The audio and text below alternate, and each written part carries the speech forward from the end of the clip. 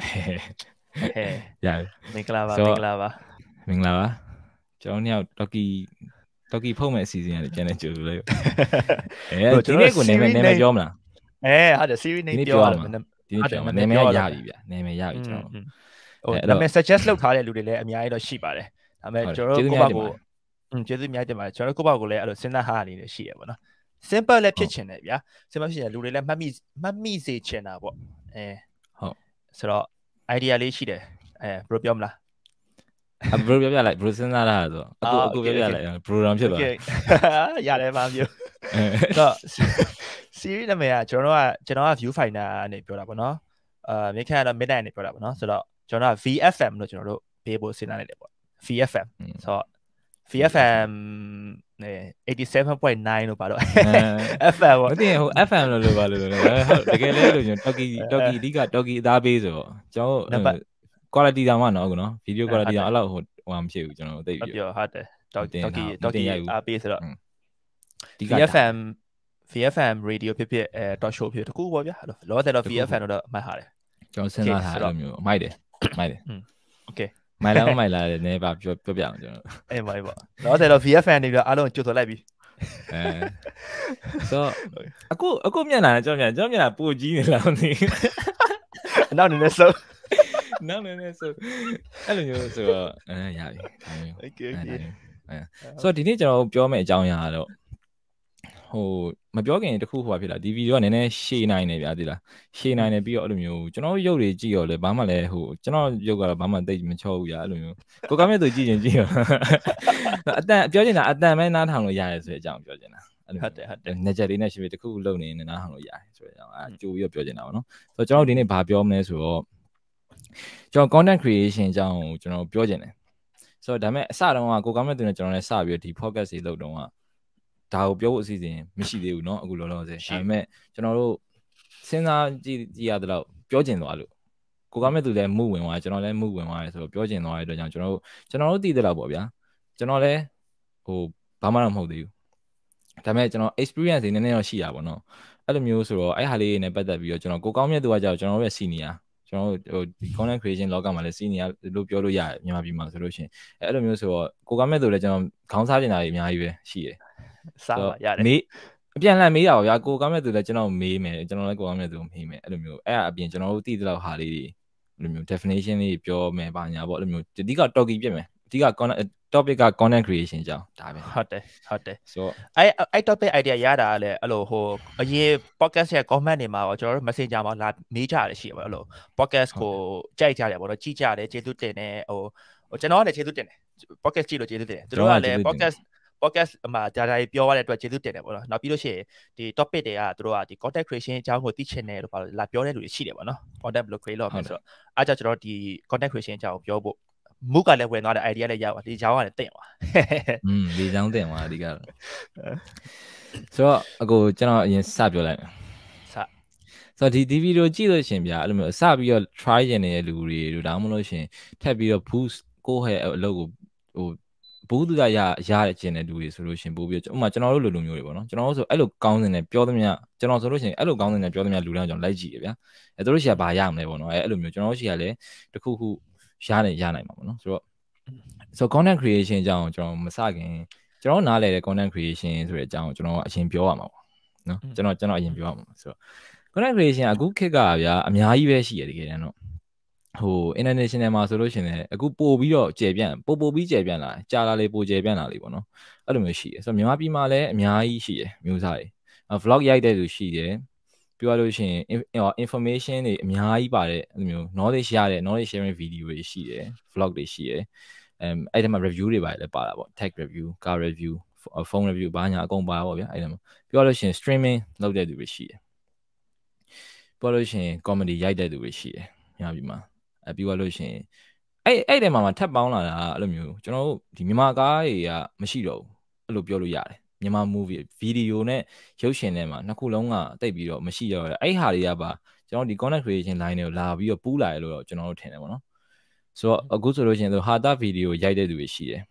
quality ရိုက်တဲ့လူရှိတယ် quantity ရိုက်တဲ့လူရှိတယ်ဒါကတော့ကိုကြိုက်တာကိုကိုအောင်မြင်နေတဲ့ပုံစံနဲ့ကိုယ့်ကိုသွားပါတော့ဒါကတော့ကိုရွေးချယ်လမ်းပဲဗျာဘာလို့လဲဆိုတော့ကျွန်တော်တို့ public figure လုပ်လို့ပြောလို့ရတယ်ဒီလောက်က public figure ကလုပ်တော့မယ်ဆိုရင်ကိုမျက်ခွက်ကြီးကိုဟိုဘယ်လို quality နဲ့ပြကျင်လဲဆိုတာကိုယ့်ရဲ့ရွေးချယ်မှုပဲအဲ့လိုမျိုးပေါ့နော်ဆိုတော့ဟိုအဲ့ဒါတော့ဒါတော့ဆိုထားပါတော့အဲ့လိုအများကြီးရှိရဗျာဒါတော့ကျွန်တော်သိတာပေါ့နော်ကိုကမဲ့သူပြီးရင်ကျွန်တော်လိုကြံခဲ့တဲ့ဟာကိုကိုကမဲ့သူလည်းဖြည့်ပေးလိမ့်မယ်လို့ကျွန်တော်ထင်တယ်ပြီးသွားလို့ရှိရင်သူ podcast podcast ကကြတော့မြန်မာပြည်မှာအခုမှလို့ပြောလို့ရတယ်နော်อืมအခုအခုကနည်းနည်းပို့ပြီးတော့များလာတယ်လို့ပို့စိတ်လာတယ်လို့ပြောရမှာပေါ့နော်ပို့စိတ်လာအခုဟုတ်တယ် ဆိုတော့နောက်ပိုင်းကျမှပို့ပြီးတော့ဟိုဟိုဖြစ်လာတာပေါ့နော်ထွန်းကားလာတာပေါ့နော်ဆိုတော့ဆိုတော့အဲ့အကြောင်းတွေကိုကျွန်တော်ဒီနေ့အများကြီးပြောမှာอืมဆိုတော့ကိုဘယ်လိုမျိုးမြင်လဲ content creation ဆိုရဟာ content မှာကအခုကအခု content creator တွေကများလာပြီနော်အခုတို့စတော့ကလည်းအဲ့လို content creator ရေလို့တော့ကိုကမတတ်မှတ်ဘူးပေါ့ဒါပေမဲ့အဲ့လို video ရိုက်ချင်တယ်ပေါ့ပြီးတော့ Facebook မှာလည်းဟိုစာတွေပဲဖတ်နေတာပြီးတော့ video လေးရိုက်ချင်တယ်ပေါ့ ဆိုတော့အဲ့တိုင်းလေးနဲ့ပဲအဲ့လိုစဖြစ်တယ်ဒါပေမဲ့အခုတဖြည်းဖြည်းနဲ့ဒီတကဘာလုံးမှာပဲဒီမြန်မာပြည်ပဲမဟုတ်ပါဘူးတကဘာလုံးမှာအကုန်လုံးကဟိုဖုန်းတွေပဲတုံးတာကြတယ်လေဖုန်းတွေများတာဘယ်သူမှ TV တွေပါမကြည့်တော့ TV တွေလို့လာတဲ့အဲ့လိုအစီအစဉ်တွေကိုစောင့်ပြီးတော့ည7နာရီကျရင်ထားလာမယ်ဆိုစောင့်ပြီးကြည့်တာပါညာတိတ်မရှိတော့ဘူးကွာကိုယ့်ဘကိုဖုန်းလေးနဲ့ကြည့်ချင်ချင်ကောက်ကြည့်တဲ့ခေတ်ကြီးဖြစ်လာပြီဆိုတော့အဲ့တော့ content creator တွေများလာပြီဘာဖြစ်လို့ဆိုတော့ content consumer တွေလည်းများတာဘူးကြည့်ချင်တဲ့လူတွေကလည်းအများကြီးပဲ consumer များတာဟုတ်တယ် consumer များတာကိုတို့ create လုပ်ပေးရတဲ့လူကလည်းများတာပေါ့နော်ဆိုတော့ကောင်းပါတယ်အခု ဟို short form ရော long form ရောအစုံနေ content တွေလုပ်နေကြတာဟိုဘာဖြစ်ဖြစ်ဟိုမှာဓာတ်ပုံဓာတ်ပုံရိုက်တဲ့ဟာလည်းတကယ်တမ်းကျ content creator ပဲတင်မလားဓာတ်ပုံဆိုတာလည်း content ပဲလေအဲ့တော့အာ content တွေအများကြီး create လုပ်ကြတယ် content creator ဖြစ်ချင်တဲ့လူတွေလည်းအခုနောက်ပိုင်းအများကြီးရှိလာတယ်อืมဆိုတော့ကောင်းပါတယ်ကျွန်တော်တို့လည်း content ကျွန်တော်တို့လည်းအဲ့လို content ရိုက်နေရတာကိုပျော်တာဗျာတလားအဲ့လို content ရိုက်နေရရင်ပတ်စံရရမရရပင်ပန်းလဲလုပ်ချင်တယ်အဲ့လိုမျိုးဖြစ်နေတော့အဲ့လို content creator တွေများလာတယ်ကောင်းတယ်လို့ထင်ပါတယ် ပထမဦးဆုံးစမှာတော့ဘယ်လိုလဲဆိုတော့တော်တော်များများပြောကြဗျာ content create လုပ်ဖို့အတွက်ဘယ်ကနေစရမလဲဆိုရင်ဇလန်းပေါ့နော်ဘာလို့လဲဆိုတော့အဲ့ဟာကအကိုတို့ကအရင်ကျွန်တော်တို့အများကြီးပို့စောတယ်ဗျာဒါပေမဲ့ကျွန်တော်တို့စတဲ့အချိန်မှာလည်းအကိုတို့ရဲ့ influence အများကြီးပါတယ်အကိုတို့ကိုဟက်တို့ကိုဂီတို့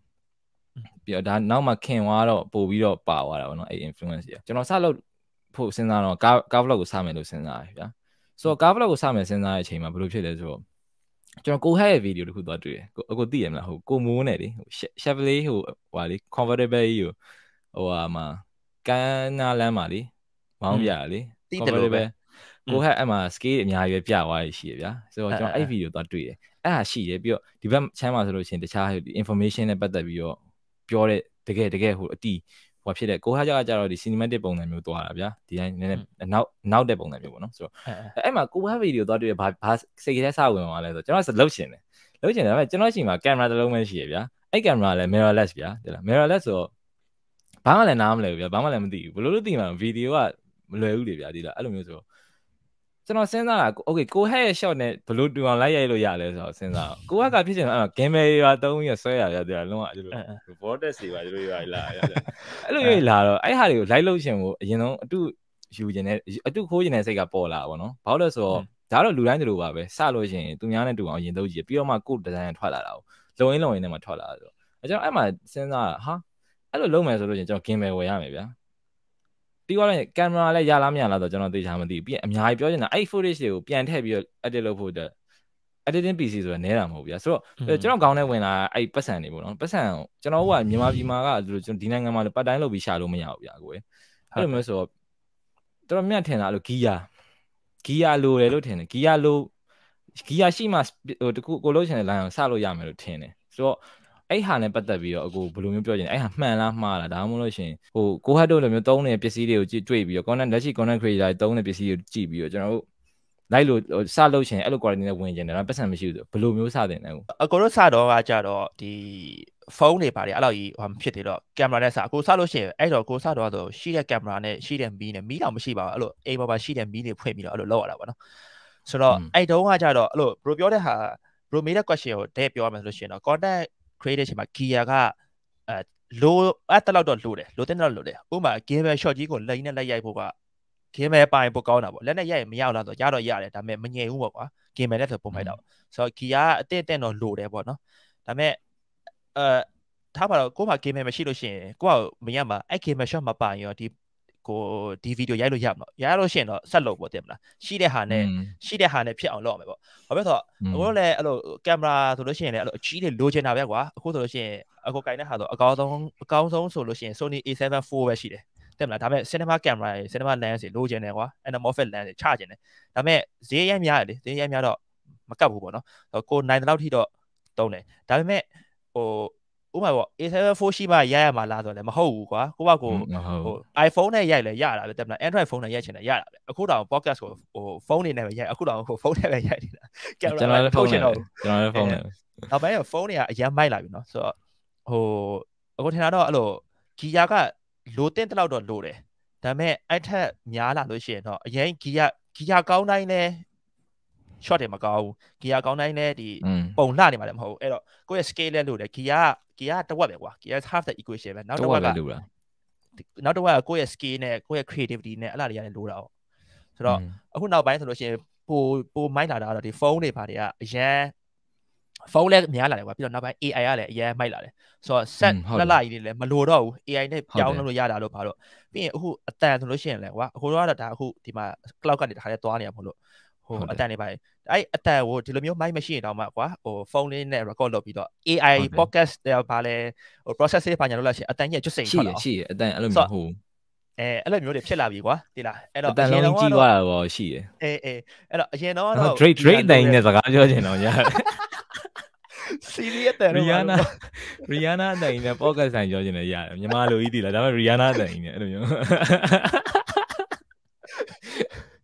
တော့ AI ခကြီးနဲ့ရောက်လာပြီကွာအဲ့ AI တွေကလည်းအကုန်လုံးဖုန်းနဲ့လုပ်လို့ရတယ်ကွာအဲ့တော့ဟိုအရင်တော့ကီယာအရေးကြီးရဆိုမှတဖြည်းဖြည်းနဲ့ကီယာတွေတိတ်အရေးမကြီးလာတော့ဘူးလို့ပြောရမှာဒါပေမဲ့ကီယာလိုတော့လိုသေးရပါတော့อืมဟုတ်တယ်ဆိုတော့အဲ့လိုကိုဖြစ်ရလားအဲ့လိုပေါ့ဒါပေမဲ့ကိုအဲ့ဒါလေးကျွန်တော်ထင်တာတော့လေအဲ့လိုမျိုး gear plus knowledge အဲ့လိုလေးလာခြင်းနဲ့စိတ်ကလည်းစိတ်ပြင်းပြရင်အကုန်ဖြစ်တယ်ဗျာဒီလားအဓိကအဲ့ဒါပဲတချို့အဲ့လိုကျွန်တော်ထင်တာတော့လာမေးတဲ့လူတွေကအဲ့လိုမျိုးလှုပ်တော့လှုပ်ချင်တယ်ဒါပေမဲ့တကယ်မပြင်းပြတဲ့လူတွေကြုံမှုနေကျွန်တော်အဲ့လိုမျိုးဗျာ စပြီးတည်လိုက်ပြီလှုပ်နေပြီဒါပေမဲ့စိတ်ထဲမှာတကယ်မယူတွလို့ရှင်ဆက်သွားလို့မရတော့အဲ့ဟာကိုများသောအားဖြင့်တချို့လူတွေကဂီယာကိုပုံချတာရှိတယ်อืมငါမှဟိုကမရှိလို့ဒီဟာမရှိလို့ဆိုပြီးအဲ့လိုမျိုးဆိုတော့ကျွန်တော်စလုပ်တဲ့အချိန်တုန်းကလည်းကျွန်တော်ဟိုဥပမာပေးကြတယ်ပေါ့နော်ကျွန်တော်နှစ်မျိုးလုပ်ခဲ့ဘူးလေကျွန်တော်ကားကိုင်းနှစ်ခုလုံးကတော့ဘာဖြစ်နေလဲဆိုတော့အခုတွားကြည့်လို့တော့ရရဗျာဒါပေမဲ့ပြောချင်တာအရင်ကြီးတော့မဟုတ်သေးဘူးဒါပေမဲ့ကျွန်တော်အတွေ့အကြုံရပြောချင်တာကားကိုင်းတောင်စလုပ်တုန်းကကျွန်တော်ဂီယာတွေအရင်ဝယ်တာ ဂီယာတွေအရင်ဝယ်ပြီးတော့မှစရိုက်တာဒါအဲ့အဲ့တော့ကအိမ်ကအိမ်ရဲ့ဟိုအဖေအမေတွေကလိုလိုက်တော့သိမလားအဲ့လိုမျိုးဝယ်ပြီးတယ်မင်းနိုင်စလို့တော့မတူဘူးဗျ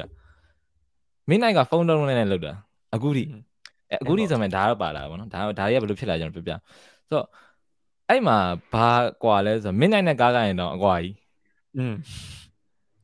ဟုတ်တယ် group ဖြစ်တဲ့ပုံစံအရင်မတူဘူးဟုတ်တယ်ဆိုတော့ဘာကိုသွားတရိထားမိတယ်ဆိုတော့ကျွန်တော် ဂီယာရင်မပိုင်အလုပ်တောင်မရှုပ်ဘူးဒါပေမဲ့ကျွန်တော်ဗီဒီယိုရဲ့ quality ကောင်းလားဆိုတော့အဲ့လောက်လည်းမဟုတ်ဆိုတော့အဲ့ဟာတွေကအဲ့ inspiration တွေကဘယ်ကလာလဲဆိုတော့အဓိကတော့ကျွန်တော်ခဏခဏပြောနေတဲ့ဟိုပဲပေါ့ဗျာ KC Nice ပေါ့ KC ပေါ့ KC Nice ကအဲ့ဒါအကုန်လုံးလုံးဝရိုက်ချိုးတာဗျာ share သူကသူ့ကိုဘယ်လိုပြောရလဲ Peter McKinnon နဲ့ KC Nice တကယ် contemporary လို့ပြောလို့ရတယ်ဒါပေမဲ့ဘသူကဘာဖြစ်နေလဲဆိုတော့အခုကြည့်လို့သွားကြည့်လို့ရဗျာဒါပေမဲ့ခဏနေတော့ကျွန်တော်တိုင်းတာတာမဟုတ် creativity level ကိုပြောချင်တာ ဒါအကိုအကိုအမြင်ပြီးရင်ကျွန်တော်ပြောပြကြည့်ပါနော်ဘာလို့လဲဆိုတော့အကိုလိုလည်းပီကန်ပီတာမက်ကင်တော့ကြိုက်မယ်ထင်တယ်ကြိုက်တာပေါ့ KC လည်းကြိုက်မယ်ထင်တယ်ဘယ်သူပိုကြိုက်တာပေါ့ဒါကြောင့်ကျွန်တော် KC နဲ့ KC ဘက်ကိုနည်းနည်းပိုရင်းပြီးပြောတာပေါ့နော်အခုဟာကျတော့သူ့ရဲ့ creativity ကသူခဏခဏလုပ်ပြရဗျာကင်မရာဆုပ်နေနဲ့ရိုက်ပြဒါပေမဲ့ဒါကြီးကဂီယာနဲ့ဘာမှမဆိုင်ဘူးသူကင်မရာအသစ်ဝယ်တယ်အော်တိုနဲ့ရိုက်တာပဲအဲ့ပဲ ဟုတ်တယ်အဓိကသူ့ရဲ့ scale ကိုကအဲ့လိုဖြစ်နေတာဗျ scale ကြီးကကျွတ်နေတာဗျအဲ့တော့ဘာမှဘယ်ဟာမှသွားတက်လို့လို့မရအဲ့တော့အဓိကတော့ scale ကအရေးကြီးတာဆိုတော့ midnight ကျွန်တော်စတယ်ဟိုအဲ့လိုစကားရမ်းပြောချင်လို့ကျွန်တော်ကင်မရာကြီးဖွင့်ပြီးဒီတိုင်းပဲကင်မရာတစ်ခါကြလို့ရှိရင် composition ကြီးရာလေးစောင်းအောင်စောင်းနေတချို့ဟာဗီဒီယိုဟုတ်တယ်ဟုတ်တယ်တွေ့တယ်စောင်းစောင်းစောင်းကြီးတို့စောင်းစောင်းဘာလို့လဲဂျိုဘီလေးအဲဂျိုဘီအကိုပြောမှသိရသလားအကိုဗီဒီယိုတင်တော့မှဟုတ်တယ်ကွာလို့ငါတရားလည်းထင်တာမဟုတ်ဘူးဂျိုဘီအတုံးလည်းမကြဘူးလို့ဒီကွာဖိုင်ပေါ့ကြီးကချိန်ရဗျာသူညီအောင်မနှဲချိန်ရဗျာတော်တော်အဆင်ပြေသူအောက်ကပူတွေရလी အဲ့ဘူးတစ်ချောင်းချင်းနေလိုက်ရှိလိုက်ပြီးတဲ့နေရတယ်တိုင်နေပတ်နေအဲ့တော့အဲ့ဟာနဲ့ရိုက်တော့တချို့ကလည်းဆောင်ဒါပေမဲ့ကျွန်တော်ပြောတဲ့စကားတွေအဓိကပဲကျွန်တော်ပြောတဲ့စကားတွေကအဲ့လိုစကားတွေထွက်လာဖို့အတွက်ကအဲအဲဘယ်လိုဘယ်လိုဖြစ်သွားလဲကျွန်တော်လည်းမပြောရဒါပေမဲ့ကျွန်တော်အဲ့လိုဖြစ်အောင်ကျွန်တော်ကျွန်တော်လည်းကြည်ထားတာပေါ့အများကြီးကြည်ထားတာပေါ့ဗျာတည်မလားဆိုတော့ဟိုအဓိကကတော့ကျွန်တော်ကတော့ဂီယာကိုအရေးကြီးရလို့မထင်ဘူးဒါပေမဲ့ကျွန်တော်ကျွန်တော်ခုပြောရကျွန်တော်တို့ပတ်စံတွေရလာအခုဆိုလို့ရှိရင်မင်းနိုင်ကပတ်စံတွေဝင်လာတဲ့အချိန်ကြတော့မှဒါတွေဝယ်လာ ဒီဒီဟာတွေကနောက်မှဇလန်းကျွန်တော်အခုနောက်ခြေလမ်းတစ်ခုဆိုကျွန်တော်ပတ်စံထက်စုပြီးကင်မရာဝင်ဝယ်တော့မှာဆိုတော့အဲ့ကြလို့ရှင်ကျွန်တော်ရဲ့ image ထဲမှာကင်မရာကောင်းသားနဲ့ mic ကောင်းသားနဲ့ရိုက်တဲ့ကောင်ဖြစ်သွားဒါပေမဲ့အဲ့လိုမဟုတ်တကယ်စတော့ကကြတော့ဟိုတိတိလေးကနေစတာဗျာဒါပေမဲ့အဲ့လိုအဲ့လိုမျိုးသွားတာပေါ့နော်ဆိုတော့အဲ့ပြောချင်တာကတော့အဓိကတော့ဟို content creation လုပ်ချင်တယ်ဆိုလို့ရှိရင်ဒါကပထမအဆုံးအနေနဲ့ပြောချင်တာတော့ဗျာကျွန်တော်ပြောချင်တာပေါ့နော်အဲလုံးမဲ့လမ်းကြောင်းကိုပဲအရင်ရွေးတာအကောင်းဆုံးပဲ ဘယ်ဟာရင်းနဲ့ဘယ်လိုစမလဲဆိုတာစဉ်းစားတိတ်တိတ်ပြီးတော့ကျွန်တော်အဲ့ဒါကြီးတိတ်ပြီးသဘောသဘောမကျဘူးဗျာဒီလားလုံးမဲ့ကိုကဘာအကြောင်းပြောချင်လဲဥပမာကိုကဟိုဘလာ share မှာလည်းပဲဘလာတောင်းတယ်အဲ့ဆိုဘယ်လိုကိုယ့်ရဲ့ knowledge ကို share ချင်တာအဲ့ဆိုလို့ရှိရင်အဲ့ဟာပဲစဉ်းစားတခြားဟာတွေရှောက်မစဉ်းစားနဲ့ငါဟိုကင်မရာရှိမှငါဘလောက်ဟိုဘာနဲ့ပြကျင်တာ A7 တင်းနဲ့ပြအဲ့ဒါပဲရှောက်မစဉ်းစားနဲ့အဲ့ဒါအဲ့ဒါမလို့ဘူးဗျာဒီလားအဲ့ငါဘလောက်ကြီးတာအောင်ပိညောင်းတကောင်ငါဘယ်လိုပြရမလဲဆိုတော့အရင်စဉ်းစားရမှာအဲ့ form ကြီးထွက်လာတော့မှအဲ့ဟာကိုဘာနဲ့ capture လုပ်မလဲဆိုတော့နောက်မှစဉ်းစားလို့ရအဲ့လိုမျိုးကျွန်တော်ကအဲ့လိုထင်တာဥပမာကားကြောင့်ဗျာကားကိုအရင်လေးလာတယ်ပြီးသွားတော့မှ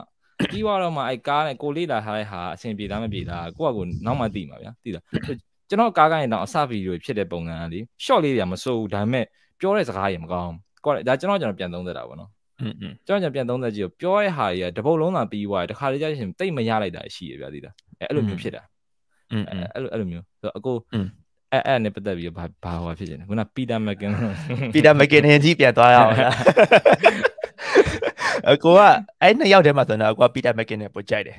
ဟုတ်တယ်ဆိုတော့သူရဲ့သိတယ်အဲ့ကြောင့်ဟုတ်တယ်အဲ့မှာကွာပြီအဲ့မှာကွာပြီဆိုတော့အဲ့မှာသူရဲ့ film making skill ကကြတော့ဟို KC တက်ပိုက်တယ်ကွာကိုကကြတော့ film making ဘက်ကိုပို့ပြီးအားသာဖြစ်တယ်သူ cinematic shot တွေ lighting တွေ color grading တွေကိုကအဲ့ဒါတွေကြည့်တာ哦 KC ကျတော့ storytelling မှာသွားတာ哦ဒါပေမဲ့ဟို ဟို bro ပြောတဲ့ဟာမှာဆိုရင် bro ပြောသလိုအကောလုံးကိုအကောကဖြတ်တန်းပြီးသွားပြီပေါ့နော်ခုနပြောလိုမျိုးဟိုပတ်စံဆူတယ်ပြီးတဲ့ထိုင်ထိုင်လုပ်တယ်အဲ့မှာအကိုဘာ lesson တစ်ခုရလဲဆိုတော့ဒါလည်း sharing လုပ်ပေးချင်တယ်ဘာရလဲဆိုတော့အကိုလည်းအရင်တော့ Kia is everything လို့ထင်ခဲ့တယ်ပေါ့နော်ဆိုတော့ Kia ပဲဝယ်တယ်ပတ်စံရှာတယ်ညာတဲ့ပတ်စံ Kia ဝယ်တယ် Kia upgrade လုပ်တယ်ပြီးရင်အာရိုက်တဲ့ဟိုရိုက်တိုင်းကိုယ့်ဘာကိုအားမရအောင် content တွေကိုလေပြီးရတော့ပြီးသွားတယ်ပေါ့နော်တင်လိုက်တယ် upload လုပ်လိုက်တယ်ဒါပေမဲ့ သူများတွေကတော့ကောင်းတယ်ကောင်းတယ်ပြောဒါပေမဲ့ကိုယ့်ဘာကိုအားဘယ်တော့မှအားမရဘာဖြစ်ဆိုတော့ငါအမှဒီ lens ရှိရင်ငါပုံမိုက်ပါငါမှဒီ lighting ဒီလိုထိုးလိုက်ရင်ပုံမိုက်ပါဆိုပြီးတော့အဲ့လားပဲအတွေးရောက်ဝင်တယ်ဘာဖြစ်လို့အဲ့လိုဝင်လဲဆိုတော့ဒီခုနကပြောတဲ့ Peter McKinnon လိုမျိုးကောင်တွေကိုလိုက်ကြည့်တာ哦သူနဲ့ရှင်ဘလို့မှကိုဟာမလို့မှမမိဘူးဒါပေမဲ့သူတို့မိချင်တယ်ပေါ့မိဒီကောင်ဘာသုံးလဲသူသုံးတဲ့ဟာလိုက်လုံးတယ်သူသူလွယ်တဲ့အိတ်လိုက်ဝယ်တယ်တင်မလားအဲ့လိုမျိုးတွေအဲ့လောက်ထိ key အောင် obsess အရင်ဖြစ်သွားတယ်ကွာပတ်စံနဲ့အရင်သုံးတယ်ဒါပေမဲ့အဲ့လိုမျိုးလိုက်လိုက်လိုက်တဲ့အချိန်မှာ key အောင်လိုက်တဲ့အချိန်မှာ 3လေးနှစ်လောက်ကြာသွားတယ်အဲ့ key ကသူ့လိုသူ့သူ့လိုမျိုးရိုက်ချင်တဲ့အတွက်အဲ့တော့အစားတော့ cross frame နဲ့စားတယ်ကွာပြီးတော့ full frame တက်တယ်ပြီးတော့အဲ့မှာ2.8 lens လာ1.4အကုန်လာအကုန်ဝယ်အကုန်စမ်းတယ်ကိုပတ်စံနဲ့ကိုဆက်ရတာဘယ်သူမှလည်းမပေးဘူးကိုကကိုပတ်စံချပြီးဆက်ရတာအဲ့တော့အခုဆိုလို့ရှိရင်ကိုပါရှိတယ်ဆိုတော့ကိုလိုချင် lens အကုန်ရပါပြီ Brian Lance ကြိုက်တာပြော Telly လည်းကြိုက်တာပြောအကုန်ရှိတယ်ဒါမဲ့ဟိုပျော်လားဆိုတော့နည်းနည်းလိုနေသေးရလို့ခံစားတယ်ကွာဟုတ်လားအားမရသေးဘူးအဲ့တော့ အဲ့အဲ့ချိန်မှာကိုယ့်ဘက်ကိုပြန်ပြီးတုံးတက်တယ်ငါဘာတွေလိုနေရလဲပေါ့ငါဂီယာကုန်ရှိတယ်ကွာအဲငါဂီယာဒါနောက်တစ်ယောက်တာဥမာထားပါတော့ bro bro ဒါအခုဂီယာရှိလို့ရှိရင်စောင်းရနေချနေချနေမှာကွာမပြောတတ်ဘူးတက်မလားဒါမဲ့အခုဂီယာကုန်ရှိတဲ့ချိန်မှာဟာလို့ငါဒီထက်အများကြီးပိုကောင်းအောင်လုပ်လို့ရတယ်ဒါပေမဲ့ငါဂီယာလည်းကုန်ရှိတယ်ပေါ့အဲ့မှာမှတဖြည်းဖြည်းနဲ့ဒီ storytelling ဘက်ကိုပို့ပြီးတော့ပြန်လေ့လာဖြစ်တာ gear တွေအကုန်ရှိတယ် technical term အကုန်သိတယ်ကြိုက်တာပြောကွာကြိုက်တဲ့ကြိုက်တဲ့ video ပြလိုက်အကုန်သိတယ်ဘယ်လိုဘယ်လိုလုပ်ခိုင်းတာပြောပြမယ်ဒီမှာ masking ဘယ်လိုလုပ်လိုက်တာဒီမှာဘယ်လိုလုပ်လိုက်တာ color ဘယ်လို grade တာပြောတတ်တယ်ဒါပေမဲ့အဲ့အဲ့လိုမျိုးတွားရိုက်တော့မရိုက်နိုင်ဘူးဘာဖြစ်လို့ storytelling မှာအားနေတာပေါ့နော်ကိုကဆိုတော့အဲ့လားကိုအဲ့လားကိုသိတာတကယ်ဆိုတိတ်တော့မကြသေးဘူးတက်တက်တော့မပြည့်သေးဘူးအဲ့လိုမျိုး KC လို့ဘာလို့ပြန်ကြည့်တယ်ပြီးတော့ဟိုဟိုဘယ်မနေ့ကဟိုထောက်ကပြောတဲ့ Coker Well တို့ဘာလို့အဲ့လိုမျိုးပေါ့ Flocker တွေအစ်စ်တွေအဲ့လို ဟို creativity ကိုအရင်အားဆိုင်တဲ့လူတွေကိုတွေ့လာတဲ့ချိန်ကျမှအော်ငါဒီစနစ်အဲဒီဒီ technical ပဲမဟုတ်ကွာ creativity ဘိုင်းနဲ့လို့တယ် storytelling ဘိုင်းကိုလေ့လာမယ်ဆိုတော့သိလာဆိုတော့တယောက်တည်းကိုယ့်ကွာကို solo filmmaker ဖြစ်တဲ့ solo team ဖြစ်တဲ့အတွက်လည်းအဲ့ဒါကြောင့်လည်းနေမှာပေါ့နော်ဟိုမမြင်လိုက်ဘူးပေါ့ဒီ storytelling ဘိုင်းကိုလေ့လာကောင်းမှမသိခဲ့ဘူးဆိုတော့အခုမှနောက်ပိုင်းမှာ storytelling လေ့လာတဲ့အချိန်ကျတော့မှအော် key ကအများကြီးမလို့ဆိုအခုတော့ဥမာကွာဟိုမှာ9200 lens ရှိတယ်မတုံးတာ4လလောက်ရှိပြီ ဟွာဘာလို့ဝယ်ထားရလဲတက်မလားတရားမဲ့ drive box ထဲမှာထည့်ထားဆိုတော့အလကားပဲလေအဲ့ဒါရှိမဲ့ဆို storytelling နောက်လေ့လာခဲ့လို့ရှိရင် story အများကြီးပိုရိုက်ခဲ့ပိုရိုက်လို့ရခဲ့မယ်ပေါ့နော်ဆိုတော့အဲ့လိုမျိုးပြန်စဉ်းစားကြည့်တဲ့အချိန်မှာအော် okay gear is not everything ပေါ့ကွာတင်မလား storytelling ကိုလည်းလေ့လာတဲ့နဲ့ creativity ဘိုင်းတွေကိုလည်းကြည့်တဲ့နဲ့ပေါ့ဆိုတော့အခုကတော့ conclusion အဲ့လိုပေါ့ဒါပေမဲ့ Peter McKinnon တော့ကြိုက်တော့မယ်ကျွန်တော်တခုတခုမေးစရာကောင်းတဲ့ပေါ်လာလို့ တခုတော့ဟိုကျွန်တော်ကျွန်တော်ကဗျာအဲ့လိုမျိုး content creation ကြောင်းလေဟိုဆက်စချင်းတော့အဲ့လို content creator ဖြစ်အောင်မယ်အဲ့လို vlogger အဲ့လိုမျိုးမဟုတ်ဒီတိုင်းပဲဟိုကိုယ့်အကူကားဟိုဟာရက်ကားတွေရိုက်ချင်တာဟုတ်လားဟိုဥမာဈေးကြီးရဲ့ကားတွေကိုတွားပြီးတော့ review လုပ်ချင်တယ်ကန်ချင်တယ်ရိုက်ချင်တယ်ပြီးတော့လို့ရှိရင်အာသာပြေပါအဲအဲ့လိုမျိုးအဲ့ဒီအဲ့ဒီဟိုဟာကိုလိုချင်တာဒါပေမဲ့နောက်ပိုင်းကျတော့ဖြစ်လာလဲဆိုတော့အဲ့ဟိုဒီ content တွေလောက်ရတာကိုပျော်လာဗျာဒီလားအဲ့လိုမျိုးလောက်ရတာကိုကြိုက်လာ အာကျွန်တော်တိုင်းတာချက်ကဘာမှမရှိဘူးတကယ်ကျွန်တော်တိုင်းတာချက်အကြောင်းပြင်ပြောပြမယ်ပေါ့နော်အဲ့ဒါဆိုတော့ကျွန်တော်သုံးခဏခဏသုံးသက်သုံးသက်သေးရှိတယ်အဲ့လိုမျိုးဟိုအစ်အစ်ပေါ်လာတဲ့သူတွေအများကြီးမှကြိုက်တဲ့ content creator နဲ့ပဲကျွန်တော်အသိရတော်တော်များများချက်ချင်း page စဖွင့်လာကျွန်တော်သိရဗျာလို့စောင့်ကြည့်နေတချို့လူတွေစောင့်ကြည့်နေရလူရှိတော့အရင်တည်းကအဲ့ဒါအဲ့အချင်းရှိရဆိုတော့ကျွန်တော်တခုတတိထားမိအဲ့ဘာလဲဆိုတော့ဒီ midnight စလုပ်တော့မှာပဲအဲ့မှာနည်းနည်းကျွန်တော်အဲ့ဟာကိုပေါက်သဘောပေါက်သွားတာဘာလို့ midnight ကိုဖုန်းသုံးလုံးနဲ့ရိုက်တယ်ဆိုတော့အဲ့ဟာကိုသဘောပေါက်သွားလို့ဆိုတော့ဘာလဲဆိုတော့ အဲကိုအကိုကောင်းမြတ်သူရယ်ကိုဟက်ရယ်ကိုကြီးရယ်အကိုတို့စကေးပြခဲ့တဲ့အချိန်တစ်ခုရှိခဲ့တယ်2018 19 20อ่ะအကိုတို့လုံးဝကျွတ်နေအောင်အကိုတို့ဗီဒီယိုတွေอ่ะအကိုတို့၃ယောက်လုံး collab လုပ်တာတွေတော့အရန်မိုက်တယ်ဗျာဒီလားကိုတို့ရှိမှလည်းဒီမြန်မာပြည်မှာဆိုတော်တော်များများထက်အကိုတို့ရှိမှပစ္စည်းတော်တော်များများရှိတယ်၃ယောက်ပေါင်းဆိုပိုဆိုးတယ်ဟုတ်ရှိရပြီးတော့ထွက်တိုင်းလည်းအကိုတို့ဝယ်ကင်တယ်ထွက်တိုင်းဝယ်ပြီးတော့ကင်တဲ့တကယ်လုပ်ပြတဲ့ vlogger ခက်ရှားရှားရဲ့အဲ့တုန်းက ကျွန်တော်ဗမာသိတယ်ဆိုတော့ Xeon ဟိုဟာ286 gimbal လေ smooth H လာမသိအခုမန္တလေးမှာအဲ့ဒါကိုလုပ်ပြရမှာကျွန်တော်နည်းနည်းကျွတ်သွားတယ်ဘာလို့လဲဆိုတော့အဲ့ဟာကိုကဘလို့မှရှာလို့မရအောင်မြန်မာ review ကဘလို့မှမရှိဆိုတော့အဲ့မှာအဲ့လိုမျိုးလိုချင်တဲ့စိတ်ကို boost လုပ်ပေးတယ်အကိုတို့အဲ့တော့ influence ပေါ့အကိုရဲ့ influence ရှိတယ်ဆိုတော့ဒါပေမဲ့အကိုတို့ break ပြန်အုပ်လိုက်တဲ့အချိန်ရှိရဗျာအကိုကပြောတဲ့အချိန်ပေါ့အဲ့ဒါအကိုတို့၃ယောက်တိတ်နည်းနည်းကျွန်တော်ကျွန်တော်အမြင်ပေါ့နော်ဒါကျွန်တော်၃ယောက်လုံးကြည့်ကြည့်တာဆိုတော့၃ယောက်လုံး break ပြန်တော့ကိုဟက်ဆိုလဲရိုးရိုးရှင်းရှင်း နေပြန်ရိုက်တယ်ဗီဒီယိုတွေတော်တော်များများသူရှိမှလည်းဂီယာတွေအများကြီးပဲဒါပေမဲ့သူသုံးတဲ့ဟာတွေဆိုကျွန်တော်တို့သိရဗျာများသောအားဖြင့် GoPro ပဲတစ်ခုပဲသုံးပြီးတော့ဟိုကန်းချီ vlog ဆို GoPro တစ်ခုပဲသုံးပြီးနှစ်ခုပဲနှစ်နှလုံးပဲသုံးပြီးရိုက်သွားတာတော့ပြီးကိုကီပိုတော်ဆိုးသေးတယ် iPhone 12နဲ့ဘာမှမပါဘူးဘာမှမပါဘူးဒီတိုင်းဆွဲတာအဲ့လိုမျိုးဗျာသိလားအဲ့လိုအဲ့ဒီကတက်လာတဲ့ကျွန်တော်စိတ်ထဲမှာအဲ့မှာထင်လိုက်တာပေါ့နော်အဲ့ဒီမှာအကူကရက်ထားအဲ့ဒီမှာအကူကရက်ထားတဲ့ဗီဒီယိုကျွန်တော် ဒီ gear တွေကနေပြီးတော့ stress တစ်ခုခုပေးလို့လားမသိဘူးလို့ကျွန်တော်အဲ့ဒီမှာစဉ်းစားရတယ်လားဒီဟာတွေအစုံရှိနေတာက content creation တယောက်တည်းလုပ်ရတဲ့အချိန်မှာ stress များပေးသလားပေါ့နော်တယောက်တည်းလုပ်ရတဲ့အချိန်မှာအဲ့တော့အဲ့ဒါကိုကျွန်တော်ပြန်စဉ်းစားအောင်ကိုကြီးတို့နဲ့ဖုန်းပြောပြတော့သူတို့ကတော့ကျွန်တော်အဲ့လိုဓာတ်ရိုက်မမီတော့မဖြေဘူးပေါ့ဗျာဒီမှာသူတို့ကတော့ပြောပြတာပေါ့အဲ့လိုမျိုးဆိုတော့အဲ့ဟာနဲ့ပတ်သက်ပြီးအကိုကကပြောအဖြေတစ်ခုပေးသွားတာတော့ storytelling ဘက်ကိုအကိုက focus လုပ်သွားတယ်တခြားဟာရှိသေးလားကိုအဲ့သိချင်တာ တခြားအကြောင်းတစ်ခုခုရှိသေးလားအဲ့လိုမျိုး break out လိုက်ရတဲ့အကြောင်းရင်းအာ break out တယ်ဆိုတာဒီပစ္စည်းတွေနည်းနည်းရော့ဟို short သုံးပြီးတခြားအဲ့လိုနည်းနည်းဟိုဘယ်လိုပြောမလဲဟုတ်တယ်နည်းနည်း budget ဖြစ်တဲ့ပစ္စည်းတောက်တော့ podcast တွေပါလုပ်တယ်ဗျာအဲ့လိုမျိုးအေးစစ်စစ်ပဲအဲ့လိုမျိုးလုပ်တော့တယ်ဒါပေမဲ့ podcast တခု quality podcast အကို quality ထွက်ဖို့ကတော့မလွယ်ဘူးပေါ့ကျွန်တော်အဲ့ဒါတော့သဘောပေါက်တယ်ဒါပေမဲ့ break out လိုက်ရတဲ့အကြောင်းကခုနက storytelling အပြင်တခြားရှိသေးလားသိချင်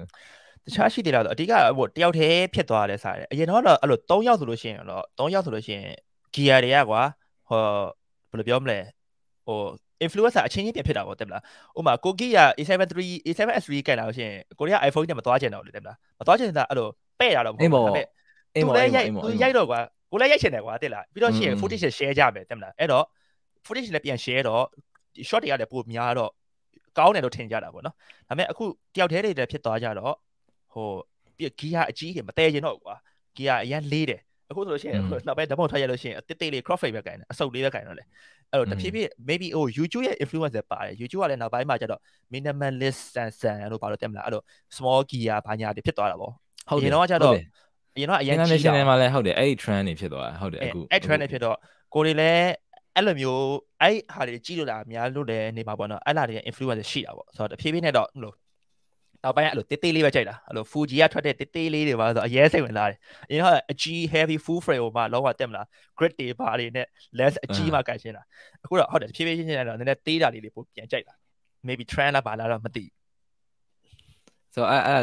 တခြားအခုအခုသွားနေတဲ့ trend ဟိုဟာအကြောင်းလို့နည်းနည်းဆိုင်တယ်လို့တော့ထင်တာပေါ့နော်အခုအဲ့ဒါဆိုလို့ရှိရင် storytelling ကြောင့်လည်းဆိုင်လို့ဆိုင်တယ် storytelling ကတော့အဓိကပဲဘာဖြစ်လို့ဆိုတော့ story ဟို gear အများကြီးရှိနေပြီးသွားတော့မှ တိသွားတာပေါ့နော်ဟိုဥမာအရင်တော့ဆိုလို့ရှိရင်ကွာဟိုဒီ lens လေးရှိမှပြေသွားမှာတင်မလားအများတိုင်းအဲ့လိုဟို Trinity lens ဆို9200 2.8အကောလုံးပြီး bright lens 3လုံးအဲ drone gimbal နောက်ဆုံးပေါ့အဲ့လိုမျိုးဟာလိုချင်တယ်အဲ့လားပြီးမှပဲလိုချင်တဲ့ဟာတွေရိုက်လို့ရဘာဖြစ်ဆိုတော့တကယ်တမ်း active တုန်းကလည်းအဲ့လို Peter McKinnon လိုမျိုးကောင်ကသူကသူဗီဒီယိုတိုင်းမှာ drone shot တွေထည့်ပြတယ်ကွာအဲ့တော့ကိုလည်း drone လို့ကျင်တယ်ကွာတဲ့မလားသူ့လိုမျိုးဖြစ်ချင်တာကိုအဲ့တော့ drone က drone ဝယ်ဖို့အတွက်စုရပြီးရော2လ3လ4လအဲ့လိုမျိုးပြီးတော့ရလည်းရောက်ရော သုံးတယ်မသုံးပြ drone ရအားလေးတယ်အားမသွေးမိဘူးလို့ပါလို့ဗျာအဲ့လိုဖြစ်လာတဲ့အချိန်မှာတကယ်သုံးကြည့်တဲ့အချိန်မှာဟာတယောက်တည်းကိုအကုန်လုံးပတ်သုံးနေတာအဆင်မပြေဘူးပေါ့ပြီးလို့ရှိရင်မသုံးတော့လဲဝယ်ထားတာအလကားပဲသုံးတော့လဲသုံးတာပဲရှိပြီးတော့ storytelling မကောင်းတော့လဲသူ့လိုမမိဘူးအဲ့လိုဖြစ်ပြန်အဲ့လိုဖြစ်ပြီးနဲ့တိလာတဲ့အချိန်မှာအော် gear ရမ်းများပြီမဲ့ storytelling မကောင်းရင်လကားပဲဆိုတာသိပါနောက်ပိုင်းကြည့်တဲ့ content တွေကလည်းဟိုသူ့ဘာသူအာ podcast နားထောင်တဲ့ အလေးချင်းကြောင့်လည်းဖြစ်မယ်သလားနောက်ပိုင်းကျတော့ podcast ကြည့်တော့ကွာရုပ်ကိုမကြည့်တော့ဘူးသူကပြချင်တာပြသူကတချင်းပြချင်တာပြ cinematic ဘလောက်ဒီရိုးဆောင်ရလမ်းနေလဲဝင်ရောမကြည့်ဘူးငကြက်တက်လာကြီးကျွန်တော်ဘလောက်တွေဆိုတော့ငကြက်ပဲတက်ကြည့်ရတာအဲ့တိုင်းပဲဟုတ်တယ်ဟုတ်တယ်တော်တော့ဗာပြဒိုင်းဒိုင်းအရန်လှတယ်နော်အေးအေးလှတယ်ဘာလဲတော့မသိဘူးဒါပေမဲ့ဒီတိုင်းပဲနားထောင်နေတာကွာအဓိကသူဘာပြောလဲပဲသိချင်တော့လားအဲဟုတ်တယ်တခါတခါလေးတခါလေးပကံစေးနေနဲ့အဲ့လို vlog တစ်ခုဖွင့်တာကိုဟက်တို့ပါတော့ပြင် သူတို့တခုခုပြလို့ရှင်ပြေးကြည့်ရတာဘာလဲမသိဘူးအဲ့ဒါပြန်ကြည့်ရအဲ့လိုမျိုးအဲ့လိုမျိုးတွေပါဖြစ်သွားနောက်ပိုင်းကျတော့အဲ့အဲ့အကိုကပြောရရမှာကျွန်တော်စိတ်ဝင်စားတစ်ခုရှိတယ်ဗာလဲဆိုတော့အကိုပြောရတယ်ဒီအချင်းချင်း influence ကြောင့်လည်းဖြစ်မယ်ဆိုဟုတ်တယ်တလားကျွန်တော်အခုဖုန်းတစ်လုံးနဲ့အခုထိရိုက်နေတော့ကျွန်တော်ဖုန်းတစ်လုံးနဲ့နဲ့ပဲကျွန်တော်တော့အပြင်တော့ကျွန်တော်မှန်နဲ့ပြလို့ရမှာอืมအဲ့ဒီမှာဒီ setup အဲအဲအဲအဲအဲဂျိုဘီနဲ့အဲ့လိုမျိုးအပြင်သွားလို့ရှင်အဲ့ဟာနဲ့သွားတော့အခုဒီဒါပေမဲ့ဘာဖြစ်လာလဲဆိုတော့ ဟိုတကယ်လို့ဒါကျွန်တော် vlogger ရတဲ့တိုင်းတော့ကျွန်တော်အယူလို့ပြောမှာကျွန်တော်ထင်တာကျွန်တော်ထင်တာကျွန်တော်ကျွန်တော်အဲ့လိုမျိုး insecure ဖြစ်လာသိမလားอืมဥမာအဲ့လိုမဟုတ်ဘဲနဲ့ထားပါတော့ car review သွားရရမယ်ဗျာအကိုကကားပိုင်ရှင်ဗျာအကိုအကိုချိန်မှာ Tesla Model Y ရှိရထားပါတော့ကျွန်တော်အကိုလာလဲလာကျွန်တော်ဒီ set နဲ့သွားလို့ပြရကျွန်တော်စိတ်ထဲမှာသိလားအင်းပါအင်းပါဟိုကကားလည်းပေးရရသေးတယ်ဗျာအဲ့လိုမျိုးအချိန်လည်းပေးသူလည်းကြည့်ချင်မှာပေါ့ဗျာသိလားဘာပဲပြောကားပဲပေးရတယ်ဆိုစိတ်ဝင်စားတဲ့သူတွေပဲပေးရတယ်မြန်မာပြည်မှာဆိုလို့ရှိရင်ကျွန်တော်အရင်တော့လုပ်တော့ အဲ့လိုမျိုးဆိုအဲ့ pressure တော့ရှိတယ်ဆိုအဲ့လိုလုတ်တဲ့လုံနဲ့လည်းဆိုင်တော့ဆိုင်တယ်ဗျာဟုတ်တယ်အဲ့လိုဟို client ရဲ့ရှေ့မှာရိုက်ရမယ့်ဟာကို commercial ဖုန်းကြီးနဲ့တော့ရိုက်လို့တော့မရဘူးလေဒီမှာ commercial ဆက်လက်ခံတော့မယ်ဆိုဟုတ်တယ်အဲ့လိုချိန်မှာအဲ့ပေါ့အဲ့လိုချိန်ပါဆိုတော့ key ကအရေးကြီးတယ်အားကြောင့်ကိုပြော key က half the equation ခါကြလို့ရှိရင်တော့ client တွေနဲ့ဆိုလို့ရှိရင်ကွာအဲ့လိုဘာမဟုတ်ပဲ client ကိုတမင်တက်အဲ့လို key ဟို rate ကိုကြည့်အောင်ကွာ အဲ handle ပဲရှောက်တက်လိုက်တယ်ကိုင်တော့ကိုင်နောက်ထားအဲတက်ထားကြီးအကောင်းတယ်ပေါ့ကွာအဲ့တော့ client တွေလည်းချို့ client နားမလည်ဘူးကြီးလေကောင်းနေပဲဆိုတော့အဲ့လို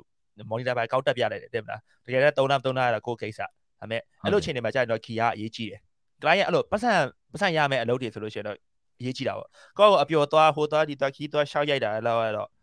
နောက်ပိုင်းကတော့ storytelling ကိုပဲပို့ပြီးအားပေးတော့တယ်อืมဟုတ်လို့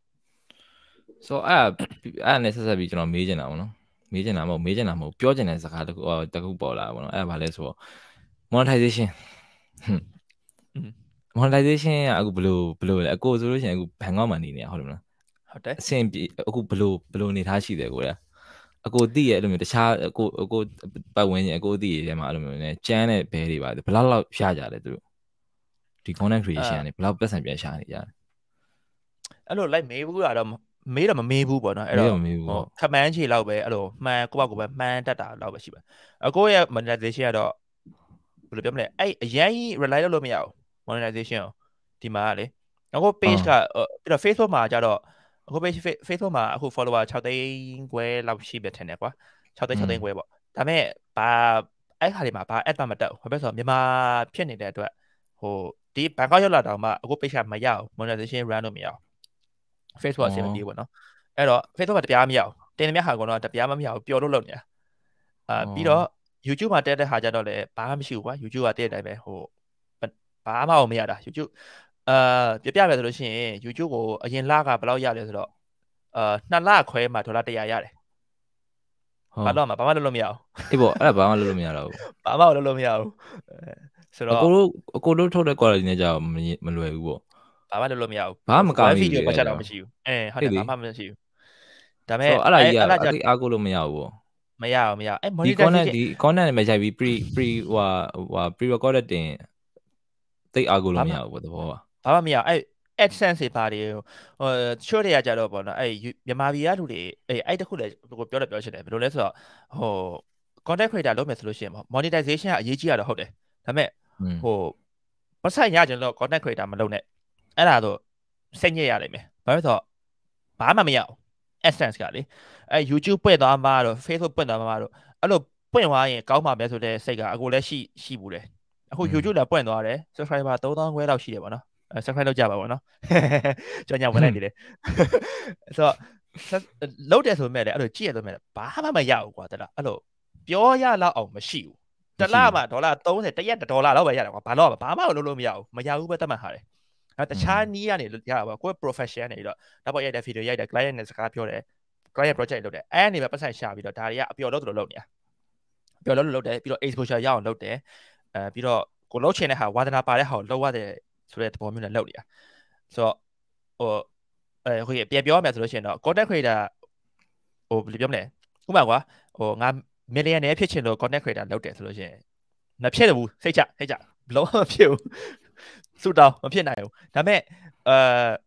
content creator လုံးချင်လို့လုပ်တာကွာလုံးချင် passion ရှိလို့လုပ်တာဆိုလို့ရှိရင်တော့လုပ်ပြီးမှ millionaire နောက်ကိစ္စပတ်စံရချင်တော့မလုပ်နဲ့အဲလုံရင်းနဲ့တော့ဒါပေမဲ့ပတ်စံရတဲ့နေတော့ရှားမယ်အဲ့တော့အရေးကြီးတယ်ပေါ့နော် ကျွန်တော်ရတဲ့ဟာကျွန်တော်ပြောပြမယ်อืมကျွန်တော်ဘယ်လောက်ရလဲဆိုတော့ midnight က follower 6000ကျော်อ่ะအခုကအခုက9000ကျော်6000ကျော်သွားတဲ့အချိန်မှာတစ်လကို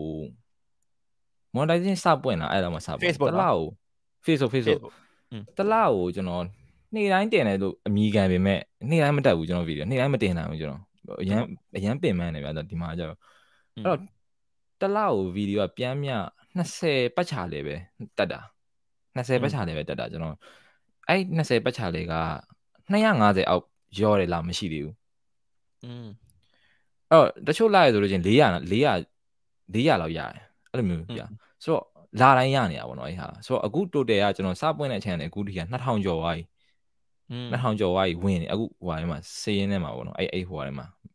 ဆိုတော့အကြမ်းမြင်အဖြစ်ဘယ်လိုတွက်လို့ရလဲဆိုတော့ဗျာ1 million video က300ရတယ်ကျွန်တော် page မှာ300อืมဒေါ်လာ300ရတယ်တပုတ်တည်းကိုအဲ့လိုမျိုးသွားတယ်ဆိုတော့အဲ့ဒါအကြမ်းမြင်တွက်လို့ရတာပေါ့နော် 100k video က100ရတယ်အဲ့တော့ပြဿနာတော်တော်ကွာတယ်နော်အဲ့လေဘယ်လိုကြီးလဲ 100k view ကြည့်အဲ့ဒါဘာ ဘလို့လုံးလုံးလဲလဲကျွန်တော်သိချာမသိဘူးဒါပေမဲ့အဲ့လိုရှိရကျွန်တော်အကြောင်း page မှာဆိုတော့ YouTube ကကြတော့အခုပတ်စံထုတ်လို့မရဘူးဗျာကျွန်တော် test information အခုပြဿနာဖြစ်နေတယ်ကျွန်တော် YouTube US မှာ base ဆိုတော့သူက US က test info တောင်းတယ် Facebook ကကြတော့ကျွန်တော် father နဲ့လုပ်တော့ကျွန်တော်ပြဿနာသိမရှိဘူး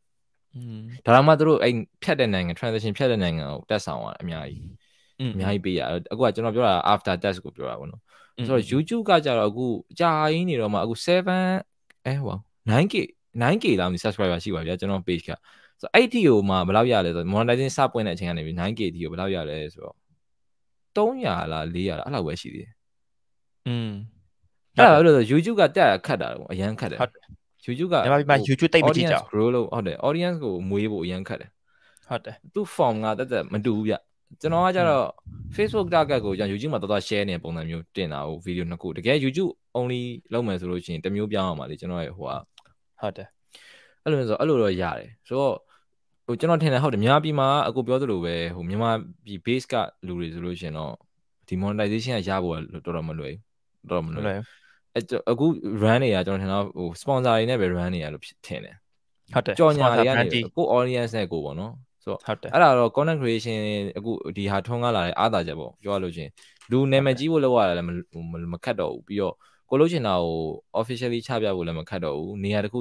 appreciation ရဖို့လည်းမခက်တော့ဘူးတော့နောက်ကဟို audience လောက်တာမလောက်တာသူကိစ္စပေါ့နော်ဒါတော့ဟိုဟိုအဲ့လိုမျိုးဆိုအဲ့အဲ့ဒါရှိပြီးတော့ကျွန်တော်အခုတခုလောက်မေးချင်တာဗျအဲ့လိုကိုဟာကကျွန်တော်တစ်ခါပြောဦးတယ်ဟိုကလမ်းပြောက်လမ်းပြောက်တဲ့လူတွေနဲ့ပတ်သက်လို့ဒီဒီဒီဒီဒီဟိုဟာကိုပြောတာ content creation ဒီဒီ content creator ဟိုဟာလောက်တယ်လမ်းပြောက်တယ်ဆိုတာဗျအဲ့လိုမျိုးဘာလို့မှမသိဘူးလို့ကျွန်တော်လည်းခဏခဏဖြစ်ဘူးအကိုလည်းဖြစ်ဘူးမှာပဲဘာဆက်ရိုက်လို့ရမှမသိတော့အချိန်နေဆိုတော့အဲ့အဲ့ဟာတွေအားလုံးမစခင်မှာလမ်းပြောက်တဲ့လူရှိရယ် နှစ်မျိုးရှိရယ်ဗျာသွားနေတဲ့လမ်းပြောက်တဲ့လူရှိရယ်မစခင်မှာလမ်းပြောက်တဲ့လူရှိရယ်ဗျာတဲ့လားဟုတ်ပြီကျွန်တော်အမြင်မှာသွားနေတဲ့လမ်းပြောက်တာအဲ့လောက်မဟုတ်လုံးချရာရှိတယ်မလုံးချင်လို့သာမလုံးတာမလုံးချင်လို့ option တွေပယ်ရင်ပယ်နေမရှိတော့ပဲရှိတယ်လုံးချရာရရှိတယ်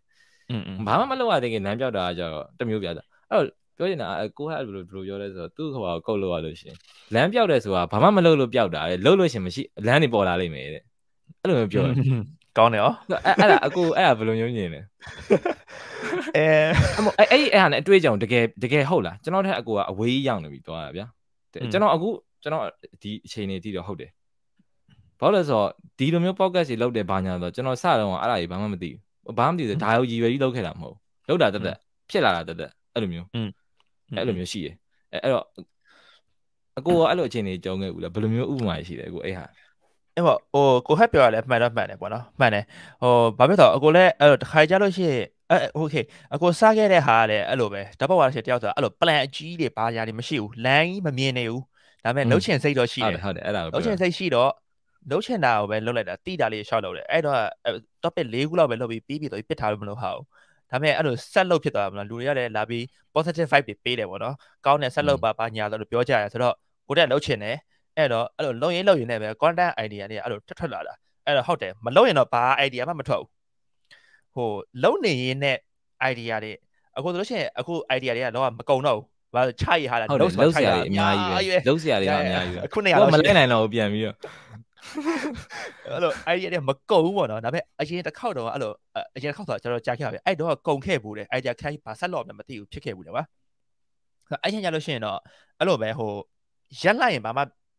ရက်လိုက်ရင် idea မထွက်တော့ဘူးအဲ့တော့ idea ထပ်ထွက်ဖို့အတွက်ကို ဟိုအမြဲသူများဗီဒီယိုကြည့်ပြီးတော့ inspire ယူခြင်းယူမယူခြင်းကိုယ့်ဘကိုပဲဟိုအခုတစ်ခါကျရင်ကို idea တော်တော် idea ကောင်းကောင်းတော်တော်များများတယ်ဘယ်ရရလဲဒီလားရေချိုးနေရတာအဲအဲ့လို distraction မရှိတော့ဘူးကွာရေချိုးလို့ရှိရင်ကိုယ့်ဘာဒါပဲရေရေပဲပြီးရေတန်တွေပဲကြားနေရဘယ်သူမှလည်းစကားပြောလို့မရဘူးဖုန်းနဲ့ပုတ်လို့မရဘူးအဲ့တော့ distraction မရှိတဲ့အချိန်မှာ idea ကောင်းတွေကထွက်ထွက်လာတယ်အဲ့တော့အဲ့ idea ရပြီဆိုတာ ਨੇ ရေချိုးခဲထွက်လာတာ ਨੇ ဖုန်းနဲ့အမြဲချရမဟုတ်ရင်မိတ်သွားလို့ ဆိုတော့ဒါကတော့ idea ရတဲ့အပိုင်းပေါ့နော်အဲဆိုတော့ဟိုပြောချင်တာကတော့ဟို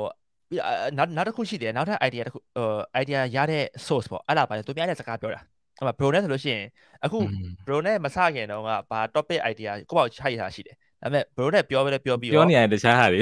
ပြော idea တွေကထွက်လာတယ်နော်ရေးတာလားအဲ့လိုခြားခြားရေးဖြစ်ပြီးတော့များလာတယ်ကွာအဲ့လိုပဲဟိုတဖြည်းဖြည်းနဲ့များများလာတယ်ဆိုတော့ ဟို maybe ဟိုကိုနဲ့ဟိုစိတ်တူတဲ့လူတွေနဲ့လည်းအပေါင်းအသင်းလို့ပေါ့ close close friend တွေထားတာပေါ့နော်ဆိုအဲ့ဒါဆိုလို့ရှိရင်တော့ idea တွေအမြဲအဲ့လိုထွက်နေမယ်ထင်တယ်ဒါမဲ့လည်းကိုစမှရမှာကိုလုံးမှရမှာမစရင်တော့မရအောင်ဟုတ်တယ်တကယ်တမ်းအများသလားအဲ့အဲ့အခုကျွန်တော်အခုဒီအတွေ့အကြုံအရာပြောရရင်ဗျာတကယ်တမ်းအဲ့ဘဲဟာမဆိုဗျာအကိုရဲ့ presentation နဲ့ပဲဆိုင်လာတာသလားဥမာလူတွေကအများသောအားဖြင့်စပြီဆိုလို့ချင်းကြော်စဉ်းစားတာများသီလား ဥမာဆိုလို့ရှိရင်ကားအကြောင်းဆိုလို့ရှိရင်ဥမာထားတယ်ဗျာကားရဲ့ basic တွေကိုမပြောဘဲနဲ့သူကကြော်ပြီးစဉ်းစားတာငါဟို Lambo ကြီးသွားရရင်ကောင်းမလား Ferrari သွားရရင်ကောင်းမလားဆိုပြီးစဉ်းစားတကယ်တမ်းမဟုတ်ကားကိုတေးချရိုးရိုးကားတစ်စီးကိုထိုင်ကြည့်နေရင်ပြောစရာတွေအများကြီးပဲပြောစရာတွေမှအများကြီးပဲအဲ့အဲ့ဒါကျွန်တော်ရဲ့အတွေ့အကြုံရပါတော့ဥမာထားလိုက်ပါဦးဗျာဒီဒီမှာမာကာတခြားမရတယ်မာကာအဲဒီဟာကိုကျွန်တော်က ကျွန်တော် daily ရိုက်တာဆိုအဲ့မှာ daily ရိုက်တဲ့အချိန်မှာကျွန်တော်သိသွားအဲ့ဒါတော့ KC ရဲ့ inspire လို့ပဲပြောတာကိုမင်းသက်ကို inspire လည်းပါတယ်ကိုမင်းသက်ကိုအရင်စတယ်လို့အဲ့လိုမျိုးဆိုဘာမှမဟုတ်တဲ့ဟာတွေကို content လုပ်ရင်အရမ်းမိုက်တယ်ဒီလားအဲ့လိုဘောပန်ဟိုဗျာဘောပန်ဟို presentation လုပ်မယ်ဆိုကျွန်တော်တို့ဒီဟာကိုကြည့်တတ်လို့ရှင်အခုခဏလေးအတွင်းမှာကျွန်တော်3-4ခုထွက်လာပါဗျာဘောပန်ဟိုပဲတကယ် formal review လုပ်မှာဒီဟာကိုပဲ formal ဒီဘောပန်တွေရေးရတယ်ဘယ်လိုရှိရကန်ရဘယ်လိုရှိရအဲ့လိုမျိုးလုပ်လို့ရအဲ့ဒါတပုတ်မဟုတ်ဘဲနဲ့ ဟိုလေးရှည်ပြီးရတယ်မှာလူတွေနေစဉ်ဘဝမှာဟိုဘာညာဟို idea တစ်ခုချလာလို့ရှင်ကျွန်တော်ဆိုလို့ရှင်ချမှတ်ဖို့အရေးကြီးအဲ့ချိန်မှာဘောပန်အရေးကြီးတယ်ဘာညာဆိုအဲ့လိုရှာရှာချေပြီးလျှောက်ပြောပြီးတော့လုပ်ရင်လည်းရတယ်အဲ့လည်း content ပဲဟုတ်တယ်အဲ့ပြီးတော့အဲ့ထဲမှာမဟုတ် comparison လုပ်ချင်လည်းရတယ်ဒီဒီချောင်းဆိုလို့ရှင် okay ဒီဟာနဲ့တွေ့ဟာနောက်နှစ်ချောင်းတော့တောက်ဝယ်လိုက်ဒါနဲ့ဟိုကလည်းဘာကွာလဲလို့ပါ brand တွေလုပ်လို့ရအဲ့လိုမျိုးတကယ်တမ်းအဲ့လိုကိုယ်နားမှာရှိတဲ့ဟာတွေကအများကြီးပဲအဲ့ဒါတော့ကျွန်တော် daily vlog လုပ်ရင်လည်းတက်လာတဲ့ပညာတစ်ခုပြအဲ့ဒါအဲ့လိုမျိုးပြန် စဉ်းစားပြီးသွားလို့ရှင်တခုခု review လုပ်ဖို့ဆိုတာမခက်တော့ကျွန်တော်ကား review ပြန်လုပ်မှာဒါပေမဲ့ကျွန်တော်အခုစိတ်ထဲမှာကျွန်တော်တော်တော်လေးကိုဟိုဝမ်းသာဖြည့်နေတယ်အခုအေးပေါ့ရှေ့တုန်းကဝမ်းသာမပြည့်ဘဲနဲ့လုပ်ခဲ့လို့ကိုယ့်ကိုထင်လို့ပြန်ဖြည့်နေအခုဒီနားတော့ရောက်နေ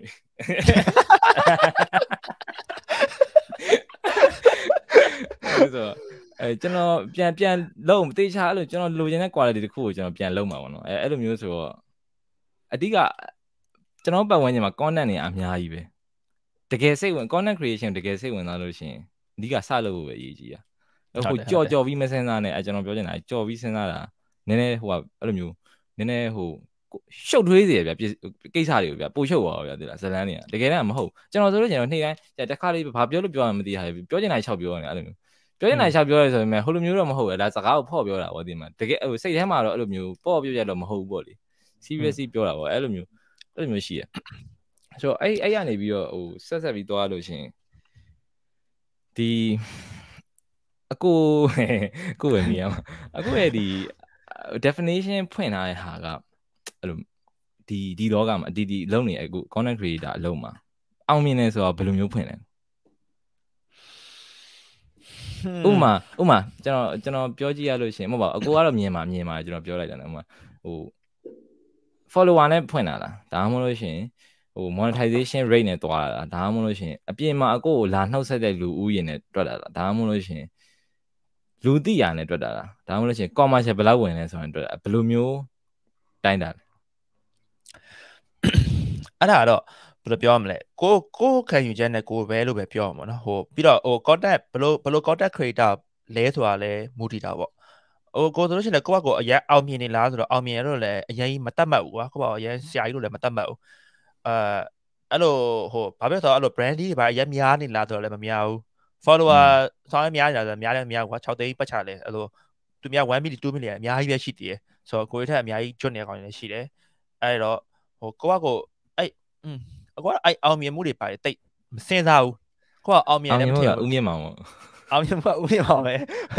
ကျန်တာလည်းတိတ်မစင်စားဘူးဟိုဘသူဘသူကအောင်မြင်နေတယ်ဆိုပြီးတော့လည်းအဲ့လိုမခံစားဘူးအခုဘသူအောင်မြင်နေလဲ I don't care ကွာဘသူဘသူရှိလဲကြိုက်တဲ့ဆိုမကြည့်ဘူးအဲ့တော့အဲ့တော့စိတ်ဝင်စားဘူးအဲ့ဒါဆိုဒါဆိုအခုဟိုတနေ့ကပြောခဲ့တဲ့စကားပေါ့ library အနေနဲ့ပဲဟုတ်တယ်ကိုကကိုကို library ကိုစောင့်နေတာသူကသူသူကသူက library စောင့်ရစောင့်မယ်သူကသူပတ်ဆက်ရှာရှာမယ်သူကလောက်ချင်တာလောက်နေမယ်ဒါပေမဲ့ကိုကို dream နဲ့ကိုရှိတယ်ကိုကကို library စောင့်နေတယ် အဲ့ library ပြည့်အောင်အဲ့ library ကြီးလာရင်ကိုကကိုပျော်တယ်ဒါပဲကျန်တာတွေကဘာမှတိတ်ပြီးတော့ကောင်းတယ်မထည့်တော့ကိုကိုလက်ကိုရှောက်တယ်ကိုကိုဆက်လုပ်တယ်ဒီကတော့လည်းဟိုအလဲလဲကြကြပဲပေါ့နော်ဒါပေမဲ့ဟိုအခုအခုပြောရမှာလို့ extreme ဖြစ်တာတော့အဲ့လိုမျိုးမဟုတ်ပါဘူးအခုဗီဒီယိုကြည့်ရင်ကျွန်တော်သိရပြသေးလားအဲ့လိုလှုပ်ချင်တာကြီးလှုပ်နေတဲ့ပုံစံမျိုးတော့လည်းမဟုတ်ဘူးအခုပြောချင်တာဟုတ်တယ်မလားဟိုနည်းနည်းနည်းနည်းတော့နည်းနည်းတော့ဟိုဟာဖြစ်တာပေါ့ဒါပေမဲ့ဟိုအရင်ကောင်းတဲ့ main အနေနဲ့မထည့်ထားဘူးဆိုတော့ပြောချင်တာ အဲ့ပါမဟုတ်ဟိုဒီဗီဒီယိုဥမာဘာဘယ်လိုပြောမလဲအာဒီဗီဒီယိုရရင်ပေါက်မှာပေါက်ရင်ငါနာမည်ကြီးအဲ့ဒါပဲလို့အဲ့လိုအဲ့လိုအဲ့လိုမျိုးတွေမစင်တော့အခုကဟိုဘယ်လိုပြောမလဲအာဒီဟာလေးကကောင်းမယ်ဟင်တယ်ဒီ idea လေးကောင်းမယ်ဟင်တယ်သူများလည်းကြည့်ရှင်မယ်ငါလည်းလောက်ရတာပျော့တယ်ချဒါပဲပြီးတော့ပေါက်ချင်ပေါက်မပေါက်ချင်တယ်အခုနောက်ပိုင်းဆိုလို့ချင်းဗီဒီယိုတွေတင်လို့ရှိရင် upload လုပ်လိုက်တယ်ပြီးရင်မကြည့်တော့ဘူး3ရက်လောက်နေမှသွားပြီး comment လေးပါလိခေးဟာလဲတွက်ကြည့်တယ်ကွာတော့ view ဘယ်လောက်ရတယ် share ဘယ်လောက်ရတယ်တိတ်ပြီးတော့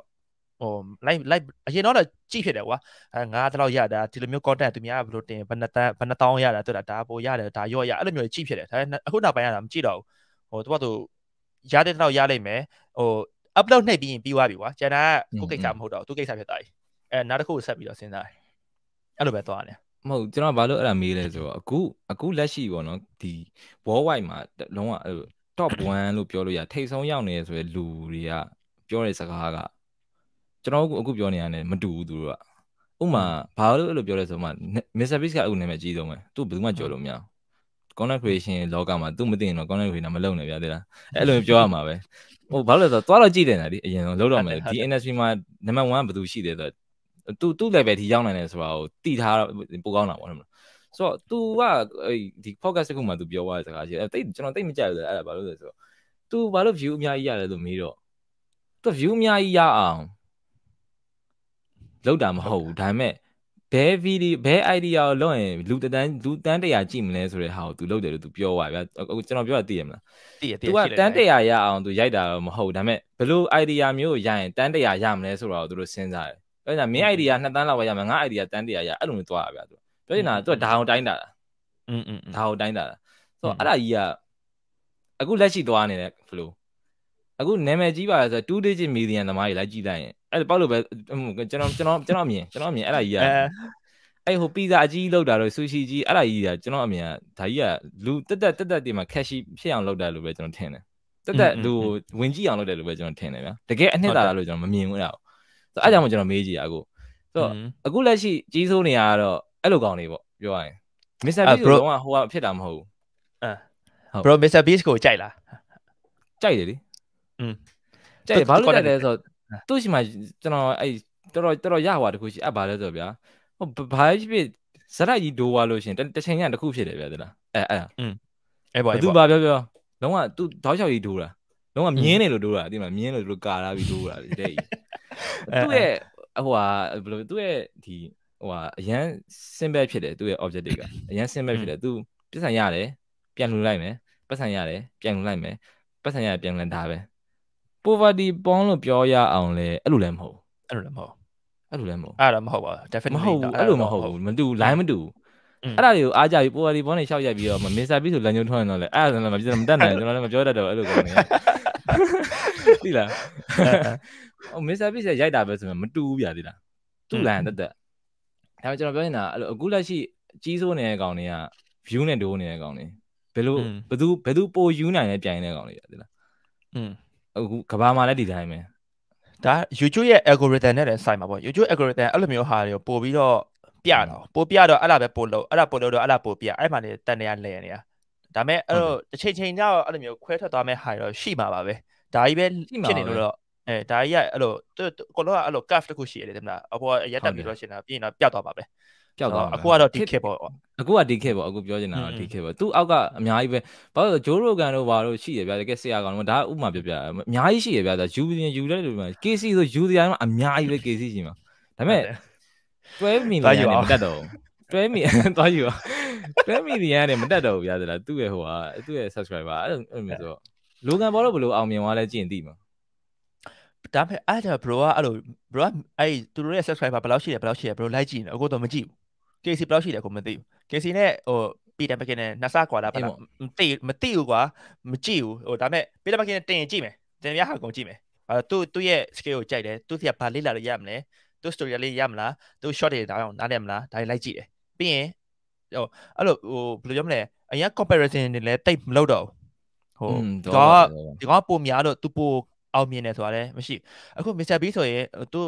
သူ channel အကုန် across ဆိုရင်200 million အောင်ကျော်နေပြီနဲ့တူတယ်နော်ဒါမဲ့အဲ့လိုဘယ်လိုပြောမလဲသူအရန်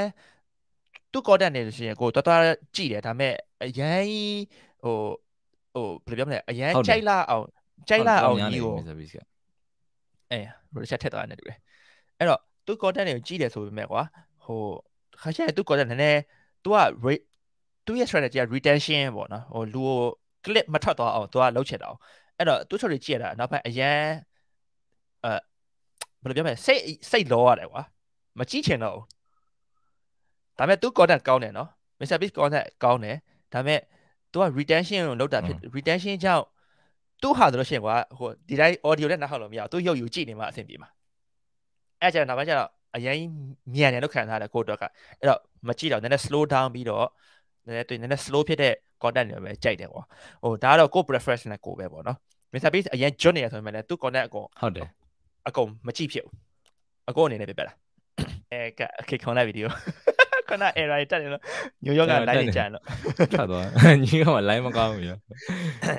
ခုနပြောလိုက်တဲ့ဟာတော့ bro မချလိုက်အဓိကကတော့အဲ့ဟို Mr Beast ကသူက retention ကောင်းရိုက်တာကွာလူတွေကို click off မဖြစ်တော့အောင်သူကရိုက်ချင်တာ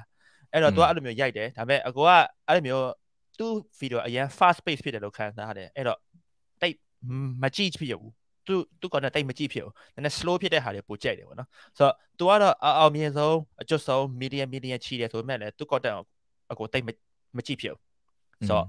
तू ဘလောက်အောင်မြင်နေအောင်အကိုတက်က तू အောင်မြင်ဆုံးမဟုတ်ဘူး အဲအခုကျွန်တော်တို့ definition မှာကျတော့ तू ကကြည့်တယ်မကြည့်ဘူးဒါပေမဲ့ကျွန်တော်ကကျတော့ဥပမာအနေနဲ့ပြောပြီးပေးပြီးပြောလိုက်လာပါတော့အခုလောလောဆယ်ဒီကောင်းနေစိုးမိုးနေတယ်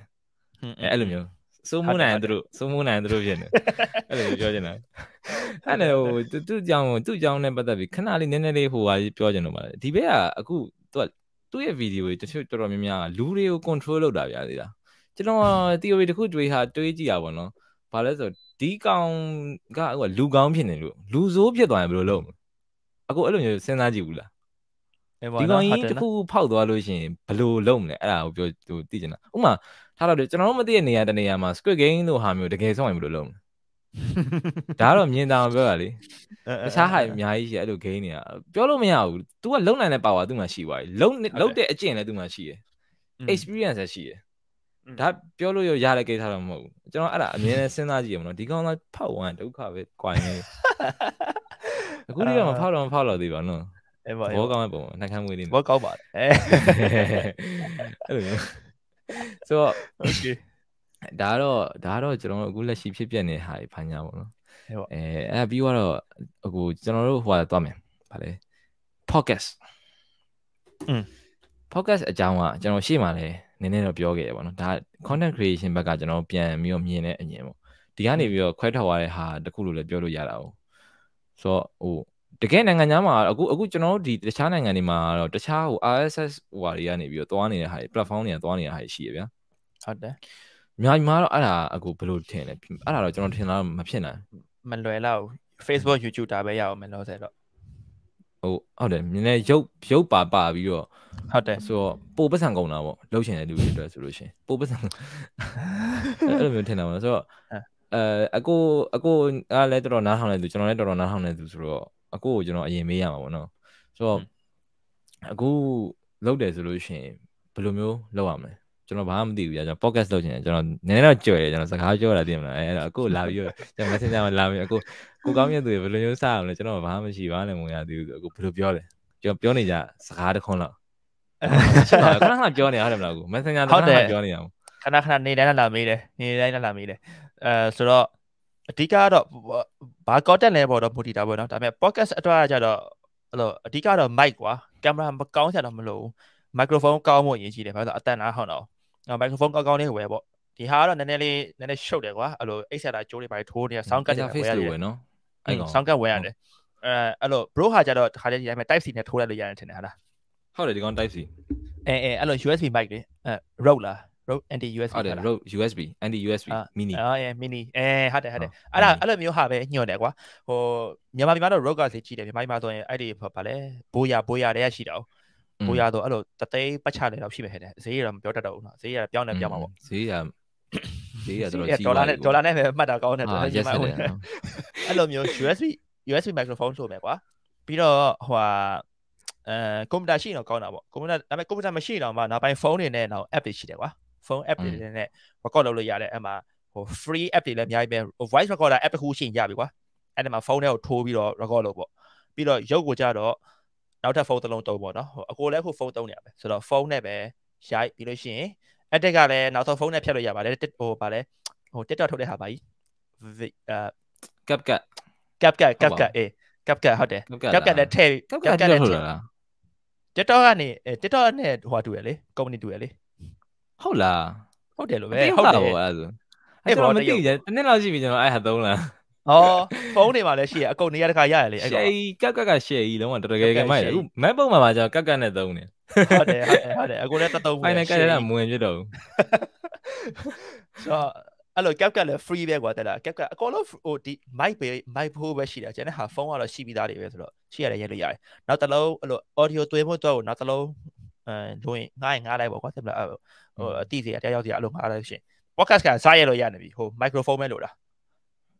အဲ့တော့ဒါကတော့ podcast ရိုက်တဲ့ဟာပေါ့တခြားဟာတွေရကြတော့လိုတာပေါ့ကွာအဲ့လို camera တွေပါနေတော့လိုတာပေါ့ podcast စကျင်လို့ရှိရင်တော့အဓိကက idea ရယ် microphone ရယ်ရပြီမီးမီးတွေပါမရှိနေလဲကိစ္စမရှိဘူးဘာဖြစ်လို့ရုပ်ရုပ်မကောင်းတာတိတ်ခိတာကိုတို့ဒီမှာရှိတဲ့ဟာလေးနဲ့ဟိုဘာအနောက်မှာတော့ဘာဘာမှနောက်တပတ်ထိုင်တာမလို့တော့မီးတစ်လုံးထုံးလိုက်တယ်ရိုက်ပြီဒါပဲအဓိကပြောနေဖို့ပဲဟုတ်တယ် အဲ့ဒါတော့အစ်စ်အစ်စ်ပေါ့နော်ဟိုဟိုဒါဒါအကိုကောင်းတဲ့သူကကြာဒီဂီယာပိုင်းပေါ့နော်ကျွန်တော်ကျွန်တော်ကြာဂီယာပိုင်းသိပြီဘာလို့လဲကျွန်တော်ဖုန်းတစ်လုံးနဲ့လည်းလုပ်တာဆိုကျွန်တော်ကျွန်တော်မြင်တဲ့အမြင်ကကြတော့ကျွန်တော်ကနားတော့နားထောင်တယ်တော်တော်နားထောင်တော့အခုမြန်မာဟာတွေဆိုလို့ရှိရင်အခုနောက်ပိုင်းဆိုပို့ဆိုကိုကောင်းတဲ့သူကကျွန်တော် share share ပြီးတော့အတင်းတုတ်တယ်ပေါ့နော်မြန်မာပြည်က podcast အသစ်တွေထွက်လာလို့ရှင်အဲ့လိုမျိုးဆိုတော့ဟိုဟိုဟာဒီ तू ကတော့ဘယ်လိုဖြစ်သွားလဲဒီကတော့ဘယ်လိုဖြစ်သွားလဲပေါ့အဲ့လိုမျိုးပေါ့ဒါအခုမှဆိုတာဖြစ်တယ်ဆိုတော့အဓိကတော့ကျွန်တော်မြင်တာတော့ဗျာဟိုအဓိကစကားပြောတဲ့ဟိုကာချာတစ်ခုပေါ့နော် อืม ACC စကားထိုင်ပြောကြတဲ့ကာချာတစ်ခုလို့ကျွန်တော်မြင်တယ်ဘာလို့လဲဆိုတော့အဲ့ဒါတွေကနိုင်ငံခြားကအောင်မြင်တဲ့ podcast တွေမှာတော့မြင်ရတယ်ဒါပေမဲ့ဘာရှိတယ်ဆိုတော့ဟိုရန်ဆရာကြီးလိုမျိုးရှောက်ပြောတဲ့ဟာတွေလည်းရှိတယ်နိုင်ငံခြားမှာပဲဟိုဟာဆိုလို့ချင်းအခုဟိုဟာလဲဒီမှာ area try နဲ့လုပ်တဲ့ဟာတစ်ခုရှိရဗျာ K KARK လား KLARK လားအခုမြင်သိတယ်မယ်ဆိုတော့အဲ့ဟာကိုကျွန်တော်ဟိုဟာကျွန်တော် comment ထဲမှာကျွန်တော်ဟိုဖြစ်ပေးမယ်ဆိုတော့အဲ့ဘဲကိုသွားကြည့်လို့ရှိရင်သူစကားပါဇက်ဆဖွင့်လိုက်တာနဲ့ ဟိုစိတ်အားကြီးစကားကြီးရှာစပြောတာသူအဲ့လိုမျိုးတယ်မလားဟိုရှေရှေဝေးဝေးကြီးတွေဗျာတယ်မလားဟိုဘာကြီးတယ်မသိဘူးဗျာတယ်လားဟိုအဲ့လိုပြောလို့လှုပ်ရှင်တဲ့လူတွေမှဟိုမလှုပ်မလှုပ်တော့အဲ့လိုတော့မဖြစ်ပါနဲ့ဒါကျွန်တော်အမြင်ပြောပြတာအဲ့လိုမျိုးလည်းရှိရတာမဟုတ်ဘဲနဲ့ A ရ AC flagrant အထားလို့ဆောင်းအောင်မိုက် AC ပဲ flagrant အထားရမ်းမိုက်တယ်อืม script လည်းမရှိဘူး AC ပဲဘာမှမရှိဘူးဒီတိုင်းပြောနေပြီးတော့ရက်လည်းမရက်သွားဘူးအဲ့ရသူတို့ရက်မရက်တော့အခုဖြတ်လားမဖြတ်ဘူးနော်ကျွန်တော်သိတယ်တော့မဖြတ်ဘူးသူတို့လုံးဝမဖြတ်ဘူးဒီတိုင်း live လင်ပြီးပြောတာနော် ဟုတ်တယ်ဟုတ်တယ် live လို့ပြောတာနော် live တော့မဟုတ်ဘူး recorded ပဲဂျားထဲမှာ तू ကကြော်ညာရေးထည့်တာအောင် အော်အဂျိုရိုကန် live နေတာဂျိုရိုကန် live နေတာ အာဂျိုရိုကန်တက်တာထည့်မယ်ဟုတ်တယ် flag crack ကကြော်ညာလေးထည့်တယ် ဟုတ်တယ်ဆိုတော့အဓိကတော့အဲ့လိုမျိုးအေးစစ်စစ်စကားထိုင်ပြောတာကို record လုပ်လည်းထားပဲဘာလို့လဲဆိုတော့ဥမာကျွန်တော်တို့ဆိုလို့ရှိရင်ဒါလက်ဖေးတန်ထိုင်တဲ့လူတွေသိတယ်လက်ဖေးတန်ထိုင်တဲ့အချိန်မှာပြောတဲ့စကားတွေထဲမှာရေးလဲမှန်တဲ့ဟာတွေအဲ့လိုမျိုးအများကြီးပါတယ်အဓိကတော့ကျွန်တော်မြင်တဲ့ဟာကတော့ podcast ဆိုအဲ့ဟာကြီးကို public ကိုတင်မလိုက်တဲ့ဒါပဲอืมဆိုတော့ ဟိုပိုကောင်းတာကတော့နှစ်ယောက်သုံးယောက်ပြောချင်တဲ့လူတွေဆိုလို့ရှိရင်ကျွန်တော်အကြံပေးချင်တာကတော့ပိုပြီးပွင့်လင်းနေကြံပိုကောင်းတယ်ပြီးသွားလို့ရှိရင်ဟိုအကျဟို time ဆွေးနေတဲ့ပုံစံအခုကျွန်တော်နဲ့ကိုကောင်းမြတ်သူဆိုအခုဒီအဲ့ form ကိုယူနေတယ်ဒါပေမဲ့တခါတလေနည်းနည်းလေးဟိုတိုင်ပတ်တယ်ကျွန်တော်လို့ရှိရင်သိမလားနည်းနည်းတိုင်ပတ်ချင်တယ်အဲ့ဟို flow မတေချာဟိုကောင်တွေလောက်မရှိမမိသေးဘူး flagrant တော့ဘာလို့လောက်မမိသေးဘူးအဲ့ပေါ်ပဲမေ့ရမလဲအဲ့လိုမျိုးရှိရဗျာဒီလားအဓိကတော့အဲ့ဟိုစတာအဲ့လိုပဲမေးကုန်းမေးပြီးတော့ပဲ စကြတာများပါကျွန်တော်လည်းအခုမေးခွန်းမေးနေရမယ်ကိုကောင်းမြတ်သူဒါပေမဲ့သိကျင်တာပို့ပြီး expand လုပ်ပြီးပြောပါဗျာအဲအဲ့ဒါဆိုလို့ရှင်တော့ပို့ပြီးတော့ဟိုမိုက်တယ်ကိုရလည်းအခုမှ podcast ကိုစတာကဘလောက်မှမကြသေးဘူးလေနော်အခုမှ bonus ဆို episode 3ကွာကောကိုရိုက်တဲ့ဟာလည်း၄၅ခုပေါ့ကွာဘလောက်မှမရှိသေးဘူးဆိုတော့အခုမှဒါ Santa Wawa ချနေတော့မယ်ဒါပေမဲ့ podcast တွေရာချီတော့ကြည်ပြီးပါပြီအဲ့တော့ podcast ရဲ့ podcast ရဲ့ style နဲ့ podcast တွေသွားတဲ့ flow တွေတော့နည်းနည်းနားလည်လာပြီပေါ့နော် အဲဒါပေမဲ့အခုမြန်မာပြည်မှာတော့ဒီ podcast culture ကအရင်အကြီးတဲ့မှာပါတယ်အခုမှ show တွေလည်းအဲ့လိုစနေလို့ရှိတယ် episode 2 3 4အဲ့လောက်မှရောက်ပြီးတော့တက်နေတဲ့လူနဲ့ဒါအခုမှ0ကနေစပြီးတော့ဘယ်လိုစရမလဲမသိတဲ့လူနဲ့တော့ podcast ကတော့နောက်ပိုင်းတော့မြန်မာပြည်မှာပုံများလာမယ်လို့ထင်တယ်ဒါပေမဲ့ကိုယ့်ရဲ့ style နဲ့ကိုယ့်ရဲ့ flow ကိုတော့အဲ့လိုရှားမှာပေါ့နော်အဲ့လိုရှားမှာ try try and error ပါပဲအဲ့လိုလုပ်ရင်းနဲ့ပဲသိလာမှာပဲသိရင်ဟိုမှားရဟာဆိုပြေကောင်းတဲ့ဟာဆက်လုပ်ဒီလိုပဲသွားရမှာပဲ ကျွန်တော်ဆိုအဲ့လုပ်ပြီးတိုင်းအခုပြဿနာတစ်ခုရှိစိတ်ထဲမှာဘယ်လိုလဲဆိုတော့ငါဆရာကြီးနဲ့တူသွားလားလို့အဲ့လိုမျိုးခဏခဏခံတာကိုကောင်းတဲ့သူခဏခဏမေးအခုတခုခုအစဉ်ပြေကျွန်တော်ပြောတော့အာမနာနဲ့ဘာညာအဲ့လိုမျိုးခံစားချက်တခုရှိတယ်အဲ့ဒါပြောချင်တာကျွန်တော်လည်းခံစားလူတိုင်းခံစားမှာပဲဘာမှတိတ်မလုပ်ဘူးတဲ့သူဆိုပိုဆိုးလိမ့်မယ်อืมဟုတ်တယ်ဘာလို့လဲဆိုတော့ influence တွေရှိတာ哦တချို့ဥမာထားပါဂျိုရိုကန်ဂျိုရိုကန်တောနာထောင်လိုက်လို့ရှိရင် influence တွေဝင်ဝင်သွားတာအဓိကတော့အဲ့အဲ့ဟာကြောင့်လို့ကျွန်တော်ထင်တာပြောချင်တာတော့ကျွန်တော်လည်းဖြစ်တယ်အကိုဖြစ်လာတာ ဖြစ်တာဗောဖြစ်တာဗောကိုဘကိုပြောပြီးတော့မှအဲ့လိုဟိုတခါကြောက်ရှင်များဝါလားမသိဘူးလို့ပါဟုတ်လားအဲ့လိုအဲအဲ့လိုလည်းရှိတယ်ပြီးတော့ဟိုငါဒီ topic ကိုပြောဖို့ငါအဲ့လောက်ကြီးတက်မလားငါအဲ့လောက် expert ဖြစ်လို့ငါပြောပါလားအဲ့လိုကိုဘကိုတခါကြရင်ပြန်ပြီးတော့မဲကုန်းတွေမေးရမှာတက်မလားငါပြောပြောသိရလားဒီအကြောင်းကငါနဲ့ကြော်တဲ့လူတွေရှိနေရတယ်ငါဘာလို့ပြောမှာအဲ့လိုမျိုးဟာရှိတယ်ကွာဖြစ်ဖြစ်ဖူးတာပေါ့နော်အဲ့ဒီဘိုင်းနေတော့ပို့ပြီးတော့อืมနောက်ပိုင်း pocket ဆက်မှာအဲ့ဒါထပ်ပြီးတော့အဲ့ဒီအဲ့ဒီစိတ်စိတ်အကြောင်းလေးပေါ့အဲ့ဒါလေးကို ထပ်ပြီးတော့ပြောတော့ပြောချင်နေတယ်စိတ်အကြောင်းအဲ့စိတ်နေစိတ်ထားလေးပေါ့ဘလို့ဘလို့လေးစိတ်ထားလဲဆိုတဲ့အကြောင်းလေးဘရိုရဲ့မင်းတော့ကိုမင်းမယ်ဟာဒါတော့တော်တော်များလဲတီးချင်ကြတယ်ပြီးတော့ဟို process ကလည်းမတူဘူးကွာအဲ့တော့ကိုတီးချင်တာလေဘရိုရဲ့ content creation process ကဘယ်လိုမျိုးရှိလဲအစားဆုံးတဲ့တစ်ချက်ဟို KC ပြောသလိုမျိုးတင်မလား KC ဆိုလို့ရှိရင်မနက်6နိုင်ထားဘာဖြစ်လဲညာဖြစ်တယ်သူဘယ်လိုဘယ်လိုလုပ်ပါတယ်ပြီးဘယ်လိုဘယ်လို edit တယ်ပေါ့ဒါသူ့ရဲ့ process ကွာအ bro ဆိုတော့ content တစ်ပုတ်ရိုက်မယ်ဆိုလို့ရှိရင်အဲ့လို စဉ်းစားတာဘယ်ဘယ်ကနေ idea စရလဲရိုက်ဖို့ဘယ်လိုစလဲ edit ဘယ်လိုလုပ်လဲအဲ့အကြောင်းလေးနည်းနည်းလေးပြပြကိုကောင်းမြတ်သူပြန်မေးပါပြီခုနကဟိုကျွန်တော်တို့ခုနကဟိုဟာဖြတ်လိုက်ပါလို့ဆိုကျွန်တော်နောက်မှပြောမလို့အဲ့အကြောင်းကခုနကတခုခေါင်းထဲပေါ်လာဒါပေမဲ့အဲ့ဟာရှေ့လို့နောက်မှပြောရမယ်ဆိုတော့အဲ့ဟာကိုကျွန်တော်ဖြတ်လိုက်ဆိုတော့အခုကကိုကောင်းမြတ်သူမေးတာကျတော့ဒီ process လား content creation process bro အစနေအဆုံးပေါ့အဲ့လို idea စနေစပြီး upload လုပ်တဲ့အထိဘာတွေလုပ်လဲဘာ process တွေလုပ်ဖြစ်လဲ ဩကျွန်တော်ကဟိုများသောအားဖြင့်ပေါ့နော်ကျွန်တော်ဗီဒီယိုရိုက်လို့ရှိရင်ကျွန်တော်ကဒီတကားပိတ်တဲ့နေရာကနေစဒီလမ်းလျှောက်လျှောက်ရောက်အဲ့ဒီအချိန်ဒီကလေကျွန်တော်ကင်မရာဖွင့်လိုက်တယ်ဗျာဟိုကျွန်တော်လုပ်တဲ့ဟာအစတုန်းကလုပ်တာကြတော့ဘာမှမဟုတ် vlog လေးရိုက်မယ်ဆိုပြီးတော့အကိုလိုလိုမျိုး live style vlog လေးရိုက်မယ်ဆိုပြီးစဉ်းစားတယ်ဒါပေမဲ့နောက်တော့ idea ရောက်သွားကိုမင်းတန်ကိုကြီးကအဲ့တုန်းက daily vlog run နေရအောင် run နေတော့ကိုမင်းတန်ကိုရဲ့ inspire inspiration အရင်အများကြီးရှိတယ်ကျွန်တော်ရှိမှာဒါပါလဲဆိုတော့ အဲ့လိုစိတ်ဝင်စားစရာမကောင်းတဲ့ဟာတွေကိုထိုင်ပြောရင်တော်တော်စိတ်ဝင်စားဖို့ကောင်းတယ်လားအဲ့အဲ့ဟာအဲ့ဟာအဲ့ဟာကျွန်တော်တိပါဗျာတိပါတော့အဲ့မှာတောက်လျှောက်စိတ်ဝင်စားစရာမကောင်းတာတွေကြီးပဲကျွန်တော်စဉ်းစားပြီးပြောတာဗျာအများသောအားဖြင့်ကျွန်တော်အခုထွက်သွားပြီဆိုလို့ရှိရင်ကျွန်တော်အခုဒီ setup တွေခုနပြရ setup နဲ့ဖွင့်လိုက်ပြီ record နှိပ်လိုက်ပြီဆိုအဲ့ဒီကကျွန်တော်ဒီနေ့မနေ့နိုးပါတယ်မနေ့ဒီနေ့ကဆူချီသွားလိုက်ရဖာညာအဲ့အဲ့ constant ပြောနေတဲ့ဟာရှိတယ်အမြဲတမ်းပြောနေကြဟာရှိတယ်အဲ့ဟာတွေပြောနေတဲ့အချိန်မှာကျွန်တော်စဉ်းစားနေ ဒီနေ့ဘာရရင်ကောင်းမလဲမသိဘူးဆိုပြီးစဉ်းစားပြီးရင်ခဏပိတ်လိုက်ကောပြီးသွားလို့ရှိရင်ပြီးတော့မှအဲ့ intro စလာတာပေါ့နော်ကျွန်တော် intro အဲ့တော့မှစဉ်းစားဆိုတော့ကျွန်တော်လုပ်ချင်တာအများကြီးပဲအခုဆိုလို့ရှိရင်ကျွန်တော်အခု running shooting ရဝယ်ထားတယ်ဗျကျွန်တော်အဲ့ review လုပ်ချင်တယ်ဒါပေမဲ့ပြင်းတယ်သူကဘာလို့လဲဆိုတော့နောက်ပိုင်းဖြစ်သွားတဲ့စိတ်ကကြတော့အဲ့လိုမျိုးပိုကောင်းရင်လာတဲ့အတွက်ကြောင့်ပြင်းသွားအစတုန်းကတော့သူဂျိုးနေအကောင်အဲ့သူ quality ကမကောင်းဘူးဒါပေမဲ့ကြည့်ရတာကောင်းတယ်အခုနောက်ပိုင်းကျအဲ့လိုဖြစ်သွားတော့ထားလိုက်ပါဆိုတော့အဲ့လိုသွားပြီးသွားလို့ရှိရင်ကျွန်တော်ရိုက်သွားအောင်ရိုက်သွားပြီးသွားလို့ရှိရင်တနေ့ကုန်6ရိုက်တယ်တ နေ့ကုန်ရိုက်တဲ့ဟာရိုက်6ရိုက်တယ်အများကြီး6ရိုက်တယ်အဲ့စားလို့ရှိရင်လည်းစားတဲ့ဟာရိုက်တယ်ဗျာအကုန်ဆိုတော့အဲ့ဟာကြီးကဗီဒီယိုကပြန်ရောက်လာလို့ရှိရင်စဉ်းစားကြည့်ပြန်ဘာမှတိတ်ပြန်မရှိဘူးอืมဒါပေမဲ့ကျွန်တော်ခုနကမှပြောတဲ့ concept ပေါ့နော်ကိုမင်းသားကိုရှိရရတဲ့ဟာသူပြောလို့မဟုတ်ဘူးသူရှိကနေသူ့ကြည့်ရင်လည်းတွေ့ကျွန်တော်သိသွားอืมအဲ့လိုဘာမှစိတ်ဝင်စားကြမကောင်းတဲ့ဟာတွေထိုင်ပြောရင်တော်တော်စိတ်ဝင်စားဖို့ကောင်းတယ်ကြတယ်ကိုမင်းသားကိုပြောပါတော်တော်ကောင်းနားထောင်တော်တော်ကောင်းတယ်တဲ့ အကိုမင်းသားကိုကြီးကျော်ထိုင်ကြည့်ရတော့မျောတခါကျပါဇက်လေးဟာမျောဟာသူပြောနေတာကြည့်ရင်အဲ့လိုမျိုးတွေဆိုအဲ့နဲ့ကျွန်တော်အဲ့အဲ့လိုမျိုးရိုက်တော့ဘာမှစိတ်ဝင်စားရမကောင်းမှလည်းကျွန်တော်ရအောင် edit လိုက်တယ်ဗျာอืมညာတော့အဖြစ်ကကျွန်တော်ညာပိုင်း edit တာများတယ်ဒါပေမဲ့ညာပိုင်းအခုနောက် edit မလုပ်တော့ဘူးဆိုတော့ညပြီးတော့ကျွန်တော်ဒီနေ့အိပ်ပါပြီဘာညာဆိုပြီးပိတ်လိုက်ပေါ့ပြီးသွားရင်ကျွန်တော်တကယ်ကင်မရာနောက်က live ကအဲ့မှာစတာကျွန်တော်အဲအဲ့လိုမျိုးပြီးသွားလို့ရှိရင်ကျွန်တော်နောက်နေ့မနေ့အလုပ်သွားလို့ရှိရင် ဒီနေ့ယထာစီဝါယထာဟို offline ကျွန်တော်ရှိမှာမြေရောက်ယထာဘာလိုင်းမမိဘူးဗျာဟုတ်လားလိုင်းမမိဘူးအဲ့လိုမျိုးဆိုတော့အဲ့ကက်ကက်က offline လုပ်လို့ရတယ်ဗျာအဲ့ဒီအဲ့မှာလုပ်သွားအဲ့ဆိုတော့ဗီဒီယိုကဥမာ15မိနစ်ကျွန်တော်သွားမိနစ်30ကြာတယ်မိနစ်30အတွင်းအမြင်နဲ့ဝင်တယ်အများသောအဖြစ်မဝင်တဲ့ဟာဆိုတော့အလောက်ကပြန်အောင်မှာပဲတို့ချိန်ပေါ့တို့ချိန်တို့ချိန်အခုချိန်မှာအခုတော်တော်နောက်ကျနေပြီအဲ့တော့မှလွတ်တယ်อืมဆိုတော့အဲ့မှာအလုံးမှမပြီးတဲ့ဟာကနောက်နှစ်ရက်ဖြစ်သွားအဲ့လိုမျိုးဖြစ်တယ်ဆိုတော့နေနေတိုင်းမတက်နိုင်ရင်အကြောင်းရင်းအဲ့ဒါဆိုတော့ ပြောချင်တာကတော့ကျွန်တော်ဖုန်းတစ်လုံးနဲ့ပဲကျွန်တော်အဲ့ဒီလုပ်တယ်ဘာမှမလုပ်อืมတခါတလေဖုန်းနဲ့ကြည့်လို့ရှိရင်ကျွန်တော်ကမျက်လုံးကိုက်လာတဲ့အချိန်ကျတော့မှကွန်ပျူတာရဲ့ထည့်လုပ်တာအဲ့လိုမျိုးဆိုတော့ဖုန်းတစ်လုံးနဲ့ပဲလုပ်တယ်ကျွန်တော်ရဲ့ process ကအရင်ဘာမှသိမရှိဘူးမသိရင် game ဆော့နေတယ်လို့ဟို Facebook သုံးနေတယ်လို့ဖြစ်နေပုံစံอืมอืมငကြလေးတစ်လုံးတော့ရှိရပါငကြလေးနဲ့ noise cancellation online တော့ကြထားအောင်မဘယ်နေရာရောက်လုပ်လို့ရပြီဗျာခဏလေး focus တိုင်းပြီးသွားအောင်အဲ့ video ကအဲ့လိုမျိုးလုပ်တာအဲ့ quality ကတော့သွားကြည့်ကြည့်ပါနော်ကျွန်တော် quality ကအဲ့အဲ့ quality ထွက်တယ်အဲဒါပေမဲ့ သူ့ဟာနဲ့သူကရှိတာပေါ့ဗျာอืมอืมอืมသူကလည်းသူကဘာလို့လူတွေကြိုက်နေလဲတော့ကျွန်တော်လည်းမသိဘူးလားတော့ဖြေချနေတော့မယ်ဒါတော့တော်များမသိဘူးဘာအကြောင်းဘာအကြောင်းပြောရင်ကောင်းမလဲပြီးတော့အဲ့လိုပြောနေတယ်အဲ့လိုမမေ့တော့အောင်ပေါ့နော်ဒီအဲ့ဒါကိုဘယ်လိုမျိုးအဲ့ process ကိုဘယ်လိုမျိုးလုပ်လဲပေါ့ဘာအကြောင်းပြောဖို့ဘယ်လိုမှတ်မိလဲကွာတခုခုပြောမယ်ဆိုကြအောင်ကျွန်တော်အများသောအားဖြင့်ဘယ်လိုမှတ်မိလဲဆိုတော့အဲ့လို plan လုပ်ထားတဲ့ဟာတွေကလေဘယ်တော့မှအဲ့လိုထစ်ထစ်ငုံငုံဖြစ်တယ်ကျွန်တော်ခုနကပြောသလိုမျိုး ငါဒီနေ့ဖုန်း review လုပ်မယ်ဆိုပြောလိုက်လို့ရှင်ဂျိုင်းမှာစိတ်ဝင်စားတဲ့အကြောင်းအရာတစ်ခုပေါ်လာအောင်အဲ့ကြအဲ့အကြောင်းအရာပြောရင်းနဲ့ကိုယ့်ရဲ့ experience ဆက်ဆက်လိုက်လို့ပြီးသွားအဲ့တော့ဘလို့မေ့လဲမမေ့လဲဆိုတာကျွန်တော်အဓိကကဟိုဒီကင်မရာကြည့်ပြီးတော့ကျွန်တော်ပြောချင်တာကြီးတောက်ချောက်ပြောနေပြောရင် an sensor ကြီးလုံးဝမမပါဘူးအဲ့တော့ဘာဖြစ်လဲဆိုတော့တခါတလေကြလို့ရှင်ဥပမာခုနကလို့ situation မျိုး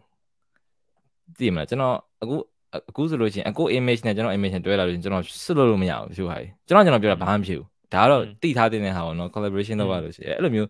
ဆိုလို့ရှိရင် break ပြင်ပြန်အုပ်ရတယ်အဲ့လိုမျိုးရှိတယ်အဲ့တော့ဘာလို့မမေ့လဲဆိုအကြောင်းကြီးကျွန်တော် plan မလုပ်ထားလို့လို့ပဲကျွန်တော်ပြောရမှာပဲ plan မလုပ်ထားပဲねကျွန်တော်ထင်တာမြင်တာပဲရှောက်ပြောနေဆက်ပြောနေတခါအဲ့လိုမျိုးပဲလေဟို poverty bond ကိစ္စတွေကျွန်တော်ပြောပြောတကယ်တမ်းဘာမှ plan လုပ်ထားမှာမဟုတ်ဘူးဒါပေမဲ့သူကဆိုကြည့်ရလူကကြတော့တမင်လုပ်တယ်လို့ထင်လဲထင်တယ်တချို့ကြောက်လဲအဲ့လိုရှိရအောင် ဒီကောင်တမင်နာမည်ကြီးကျင်လို့ပြောရလားဗလားအဲ့တော့ကျွန်တော်နာမည်ကြီးကျင်တခြားလုပ်လို့ရတယ်အများကြီးရှိတယ်အဲ့လိုမျိုးအဲ့လိုမျိုးဆိုတော့ကျွန်တော်မမေ့ရအားကြောင့်မလို့ထင်တယ်ပလန်မလုပ်ထားလို့လို့ထင်တာပဲတချို့တွေကကျတော့ script တွေပါတယ်ရေးတယ်လေ script ရေးပြီးတော့မှရိုက်တဲ့သူလည်းရှိတယ်ဒါကြတော့အကုန်ကျတော့ဟို video တွေပါရိုက်လို့ရှိရင်အဲ့လို script ကနည်းနည်းတော့ရှိတယ်အပြောမယ် point script ရေးလို့မဟုတ် point တွေခြိုက်ထားတယ်ဒိုင်ဒိုင်ဒိုင်ဒိုင်တော့ပါမယ်ဟိုဒိုင်ဒိုင်ပိုင်ရပြီ ပြောတာတော့ကြက်တော့ပြောချင်တာပြောလို့ရတယ်ပေါ့ဆိုတော့အကွာတော့အဲ့လိုဟို point နည်းနည်းတုံးတယ် focus ကကျတော့တိတ်ပြီးတော့ဟိုမှာဖြစ်ပါဘူးအရင်ကြီးတော့တိတ်မှမရှိတာမြန်မာပြည်မှာအဲရွေးစရာတိတ်မရှိကြည့်နားထောင်စရာတိတ်မရှိသေးဘူးဟိုတနေ့ကကိုရှိုင်းလေးတို့ဗီဒီယိုတက်လာတော့မှအသေးအတန်အမှကျွန်တော်သွားကျွန်တော်သွားကြည့်ရအောင်နော်အဲ့လိုမျိုးရှိတယ်အဲ့လိုအများကြီးပေါ်လာရင်တော့ပျော်တရားကောင်းတာပေါ့ အဲ့မှာသူတို့ရဲ့ဗီဒီယိုကြည့်လိုက်ရတယ်အဲ့လိုပေါ့လှုပ်ချင်နေတဲ့လူတွေအများကြီးပဲတလားအဲ့လိုမစကြသေးတာပေါ့နော်သူတို့လို့ရှိရင်လည်းလှုပ်ချင်နေတာကြာပြီကိုကို ABC လို့ရှိရင်လှုပ်ချင်နေတာကြာပြီဒါပေမဲ့အဲ့လိုမစဖြစ်ဘူးပေါ့နော်ဟိုသူအရင်စမလားငါရင်စမလားအဲ့လိုစောင့်နေကြလားအဲ့ဒါလည်းရှိမှာပေါ့နော်ပြီးတော့အဲ့လိုဟိုငါငါဘာကောင်မလို့ပြောရမှာလဲပေါ့နော်အဲ့အဲ့လိုမျိုးစိတ်တွေရှိနေတဲ့လူတွေလည်းများတာပေါ့အဲ့တော့ဟို စကြည့်ပါဗျာကျွန်တော်ကျွန်တော် message မှာလည်းအများကြီးလာပြောကြတယ်တိုင်းတိုင်းဆက်ဟာတယ်အဲတူတူပဲတူတူပဲစီအဲ့လိုအဲ့လိုနော်စတဲ့လူတွေအများများတယ်အဲ podcast လုပ်ချင်နေတဲ့လူတွေကတော်တော်ကိုများနေတာကျွန်တော်သိလောက်ဒါပေမဲ့မစကြတာဘာလို့လဲတော့မသိဘူးအဲ့တော့ကျွန်တော်တို့ကတော့ inspiration အဖြစ်နဲ့တော့ဖြစ်မယ်လို့တော့ကျွန်တော်ထင်တယ်ပေါ့နော်ကျွန်တော်တို့ဗီဒီယိုကြည့်ပြီးတော့အဲစချင်တယ်ဘာညာဆိုဟျောက်ချမယ်ဘာညာရိုက်မယ်ဆိုပြီးတော့အဲ့လို team တွေပါတွေဖွဲ့ပြီးတော့လောက်ကြမဲ့တူတွေရှိမယ်လို့ထင်တယ်အဲ့တော့ ရှိရတဲ့ဆိုရှင်စပါစပါစပါကျွန်တော်ဒီကနေ push လုပ်တာစတော့အဲ့မှာကျွန်တော်တို့လည်းဟိုမှာဟိုတင်လို့ရတာပေါ့နော်အဲ့မှာဟိုအကိုအကို ABC တင်တဲ့ဗီဒီယိုဆိုကျွန်တော်တို့ပြန်တင်ရအများကြီးရှိဗျအဲ့မှာဆိုလို့ရှိရင်ရသေးလားအဲကျွန်တော်ပုံမှန်လင်းလင်းပြောရတဲ့သူတွေကကြတော့အဲ့လိုမျိုးဘာမှမဖြစ်ဘူးရသေးလားကျွန်တော်တို့လည်းလာပြောလို့ရကျွန်တော်လာပြောလို့ရအဲ့မှာဒီ vlog ကကြတော့နည်းနည်းဘယ်လိုဖြစ်သွားတယ်ဟိုဟာကြတော့နည်းနည်းစိတ်ဝင်စားဖို့ဒီဟာကြတော့နည်းနည်းဘာလို့ပြင်းသွားတာလဲအဲ့လိုမျိုးပြောလို့ရပါသေးလားအဓိကကျွန်တော်အဲ့ဒါတွေကိုအဲ့ဒါတွေအများကြီးကြားကျင်တာသိကျင်တာဘာလို့ကျွန်တော်တို့ တကယ်တကယ်ဟိုဘာမှ topic မရှိရင်ကျွန်တော်တိုင်ပတ်တယ်ပြောရမှာဘာပြောလို့ပြောရမှာမသိဘူး and sensor တက်တက်ကတက်တက်တပိုင်းကင်မရာအနောက်ကွယ်မှာညီကိုတွေတက်တက်ပြောတာတပိုင်းအဲ့ဒါကြတော့အဲ့ဒါအများကြီးပဲကင်မရာရှိမှပြောမလွယ်ဘူးရတယ်လားအဲ့တော်တော်မလွယ်တဲ့အလုပ်စကားလို့နိုင်နဲ့ခြေပြီးထိုင်ပြောဖို့ဆိုတာကြီးอ่ะလူအမြင်ကပ်ဖို့ chance အများများတယ်အများကြီးမပူဆိုးတယ်အဲ့ပြောတဲ့တဲမှာတခုအမှားပါသွားတယ်သူ့ရဲ့ flow ကြီးကဘယ်လိုဆရာကြီးပုံစံပေါက်သွားတယ်ဆိုလို့ပြဿနာတဲ့အဓိကအကိုကျွန်တော်ကျွန်တော်ထင်တာအားကြောင့်မလုပ်တာထင်တယ် อืมအဲ့ကြောင့်မလုပ်ကြရလို့ကျွန်တော်ထင်ဟုတ်တယ်ဟုတ်တယ်အဲ့လိုမျိုးဟိုဟိုကိုစတိုင်လည်းကိုအဲ့လိုဖန်တီးပြီးတော့ကို flow တစ်ခုရောက်အောင်မယ်ပြီးတော့ funding လည်းအဲ့လိုဖြည်းဖြည်းနဲ့ရလာပြီဆိုလို့ရှိရင်တော့အာပြေသွားမယ်ထင်တာပဲသူတို့ပဲအဲ့လိုအခုဆိုလို့ရှိရင်အခုဒီ view finder စရတယ်ဆိုလို့ရှိရင်လည်းကွာအမှန်တော့အခုဒီမှာဓာတ်ပုံဝါလာရှင်တယောက်မှာဆိုလို့ရှိရင် page အာ follower 6သိန်းခွဲလောက်ရှိရကွာအခု view လို့ချင်းအဲ့မှာသွားပြောလို့ရတယ်ကွာဘာမှ page အတိတ်ထောင်စရာမလိုဘူးဒါပေမဲ့တမင်တက်တက်အဲ့လို ဒီ page အတိတ်ထောင်လိုက်တော့လေ feeling တခုကဘယ်လိုလဲဆိုတော့အခုမှစတဲ့ဟို chat တိတ်လေးဖြစ်သွားတယ်ကွာသိလားအဲအခုမှဟိုစချင်တယ်ပေါ့နော်အဲ့တော့ဗာလေးလောက်ရင်ကောင်းတယ်ဟိုကလေး send ဒီကလေး send ဟိုကိုဟိုဟိုဓာတ်ပုံဝါနာရှင်တယောက်ပါဆိုလို့ရှိရင်ဒီကင်မရာကြောင်းပဲပြောရမယ်တဲ့မလားတခြားကြောင်းပြောလို့ရှိရင်တိတ်စိတ်ဝင်စားဘူးကွာသိလားအဲ့တော့တခြားကြောင်းပြောချင်လို့ရှိရင်နောက်ထပ် page တစ်ခုနဲ့နောက်ထပ်ဟိုအစနေပြန်စမယ်လုံးဝ chat တိတ် chat တိတ် feed နေရတယ်ကွာဟဲ့အဲ့တော့မစိုးကွာအဲ့လို fresh ဖြစ်တယ်ဟုတ်တယ် fresh ဖြစ်တယ်အကုန်လုံး reset ပြန်ချလိုက်တယ်လို့ပဲ reset ပြန်ချလိုက်ပေမဲ့ experience တွေကပါလာတယ်တွေ့ပြီးအဲ့ feeling ကြီးအရင်မိုက်တာသိလားအဲ့လိုအဲ့ဒါကြီးကကိုမသိတဲ့စိတ်ထဲမသိတဲ့မှာပါလာဗျာကိုဒီဟာကိုချင်းကတ်တဲ့ပုံစံကအဲ့ဒါကြီးကဟိုဘက်ကပါလာဒါပေမဲ့မမတူဘူးဗျာတဲ့အဲ့ဘာလို့လဲကျွန်တော်အဲ့ကားကားရင်တောင်းပြီးတော့အဲ့ midnight လို့တော့အဲ့မှာတိသွားဗျာခံစားရကြတဲ့ဟိုက experience အများကြီးပါမလူမရှက်တော့တာတော့မကြောက်တော့တာတော့အဲ့လိုမျိုးတွေပါလာဒီနေ့ကတော့ကျွန်တော်တို့ဒီလောက်ပါပဲကိုကောင်းမြတ်ဆိုချိန်မှာနောက်ကျနေပါပြီ နောက်ကျကျွန်တော်ချိန်မှာဒီမှာလေးနောက်မှမြင်ရတာနင်းနေကျွန်တော်ချိန်မှာอืมဒီမှာဖောက်ပြီးအိတ်ချင်အိတ်ချင်ပြီပေါ့နော်အေးအိတ်ချင်နေပြီဟိုရှိပြီ16ဆိုတော့3နာရီနဲ့မှ15မိနစ်နေပြီတင်းတော့ကြာသွားတာလေဟုတ်ပါဟုတ်ပါအဲ့လိုမျိုးဆို Okay ကျွန်တော် guest speaker တွေခေါ်လို့လဲစဉ်းစားစဉ်းစားစဉ်းစားနေပါတယ်ခေါ်တော့ခေါ်ကြတယ်နော်ခေါ်ကြလား ခေါ်ခြင်းခေါ်တော့ခေါ်ခြင်းတယ်ခေါ်ခြင်းတယ်ဒါပေမဲ့တခြားဟို guest speaker ဆိုလို့ရှိရင်ကိုဘာဖြစ်တယ်မလားအဲ့တော့3ရက်ဖြစ်သွားတယ်ကွာပြောစရာကအခုကပြောစရာတွေကဘယ်လိုနဲ့ကျွန်တော်လည်းတော့ပြောစရာတွေကမကုန်ဘူးနောက် episode တွေဆက်မှာကွာအဲ့ဒါအဲ့ဒါတွေအကုန်လုံးပြီးအောင်ပြောချလိုက်ချင်တယ်ပြီးလို့ရှိရင်တော့ကျွန်တော် guest speaker တွေထပ်ခေါ်မယ်ကျွန်တော်ပြောစရာတွေအများကြီးရှိတယ်ကျွန်တော်ကျွန်တော်ပြောစရာတွေကုန်သွားတဲ့ခါကြမှာပဲကျွန်တော်တို့ guest speaker တွေပြောပါမယ်ဟုတ်တယ်ဟုတ်တယ်ဘူးလို့တရားတော့ဒါတော့ပါပဲကျွန်တော်ဒါကြီး edit ပြန်ထိုင်ရအောင်ပါဟုတ်တယ်ဟဲ့ ဘရိုဘတ်ထိုင်နေတော့အကိုအိပ်ပြီကျွန်တော်ထိုင်မယ်ကျွန်တော်ထိုင်မယ် Okay အဲ့လိုအလုပ်ကအဲ့လိုပဲခွဲလုပ်တာပဲခွဲလုပ်ခွဲလုပ်ရတာပဲဆိုတော့နောက် episode မှာတွေ့ပါမယ်တတာ Okay အားလုံးပဲ thank you ပါဒီစီကြည့်ပေးတာ bye တင်ပါတယ်ဒီစီကြည့်ပေးတဲ့အတွက်ကြောင့်ဟုတ်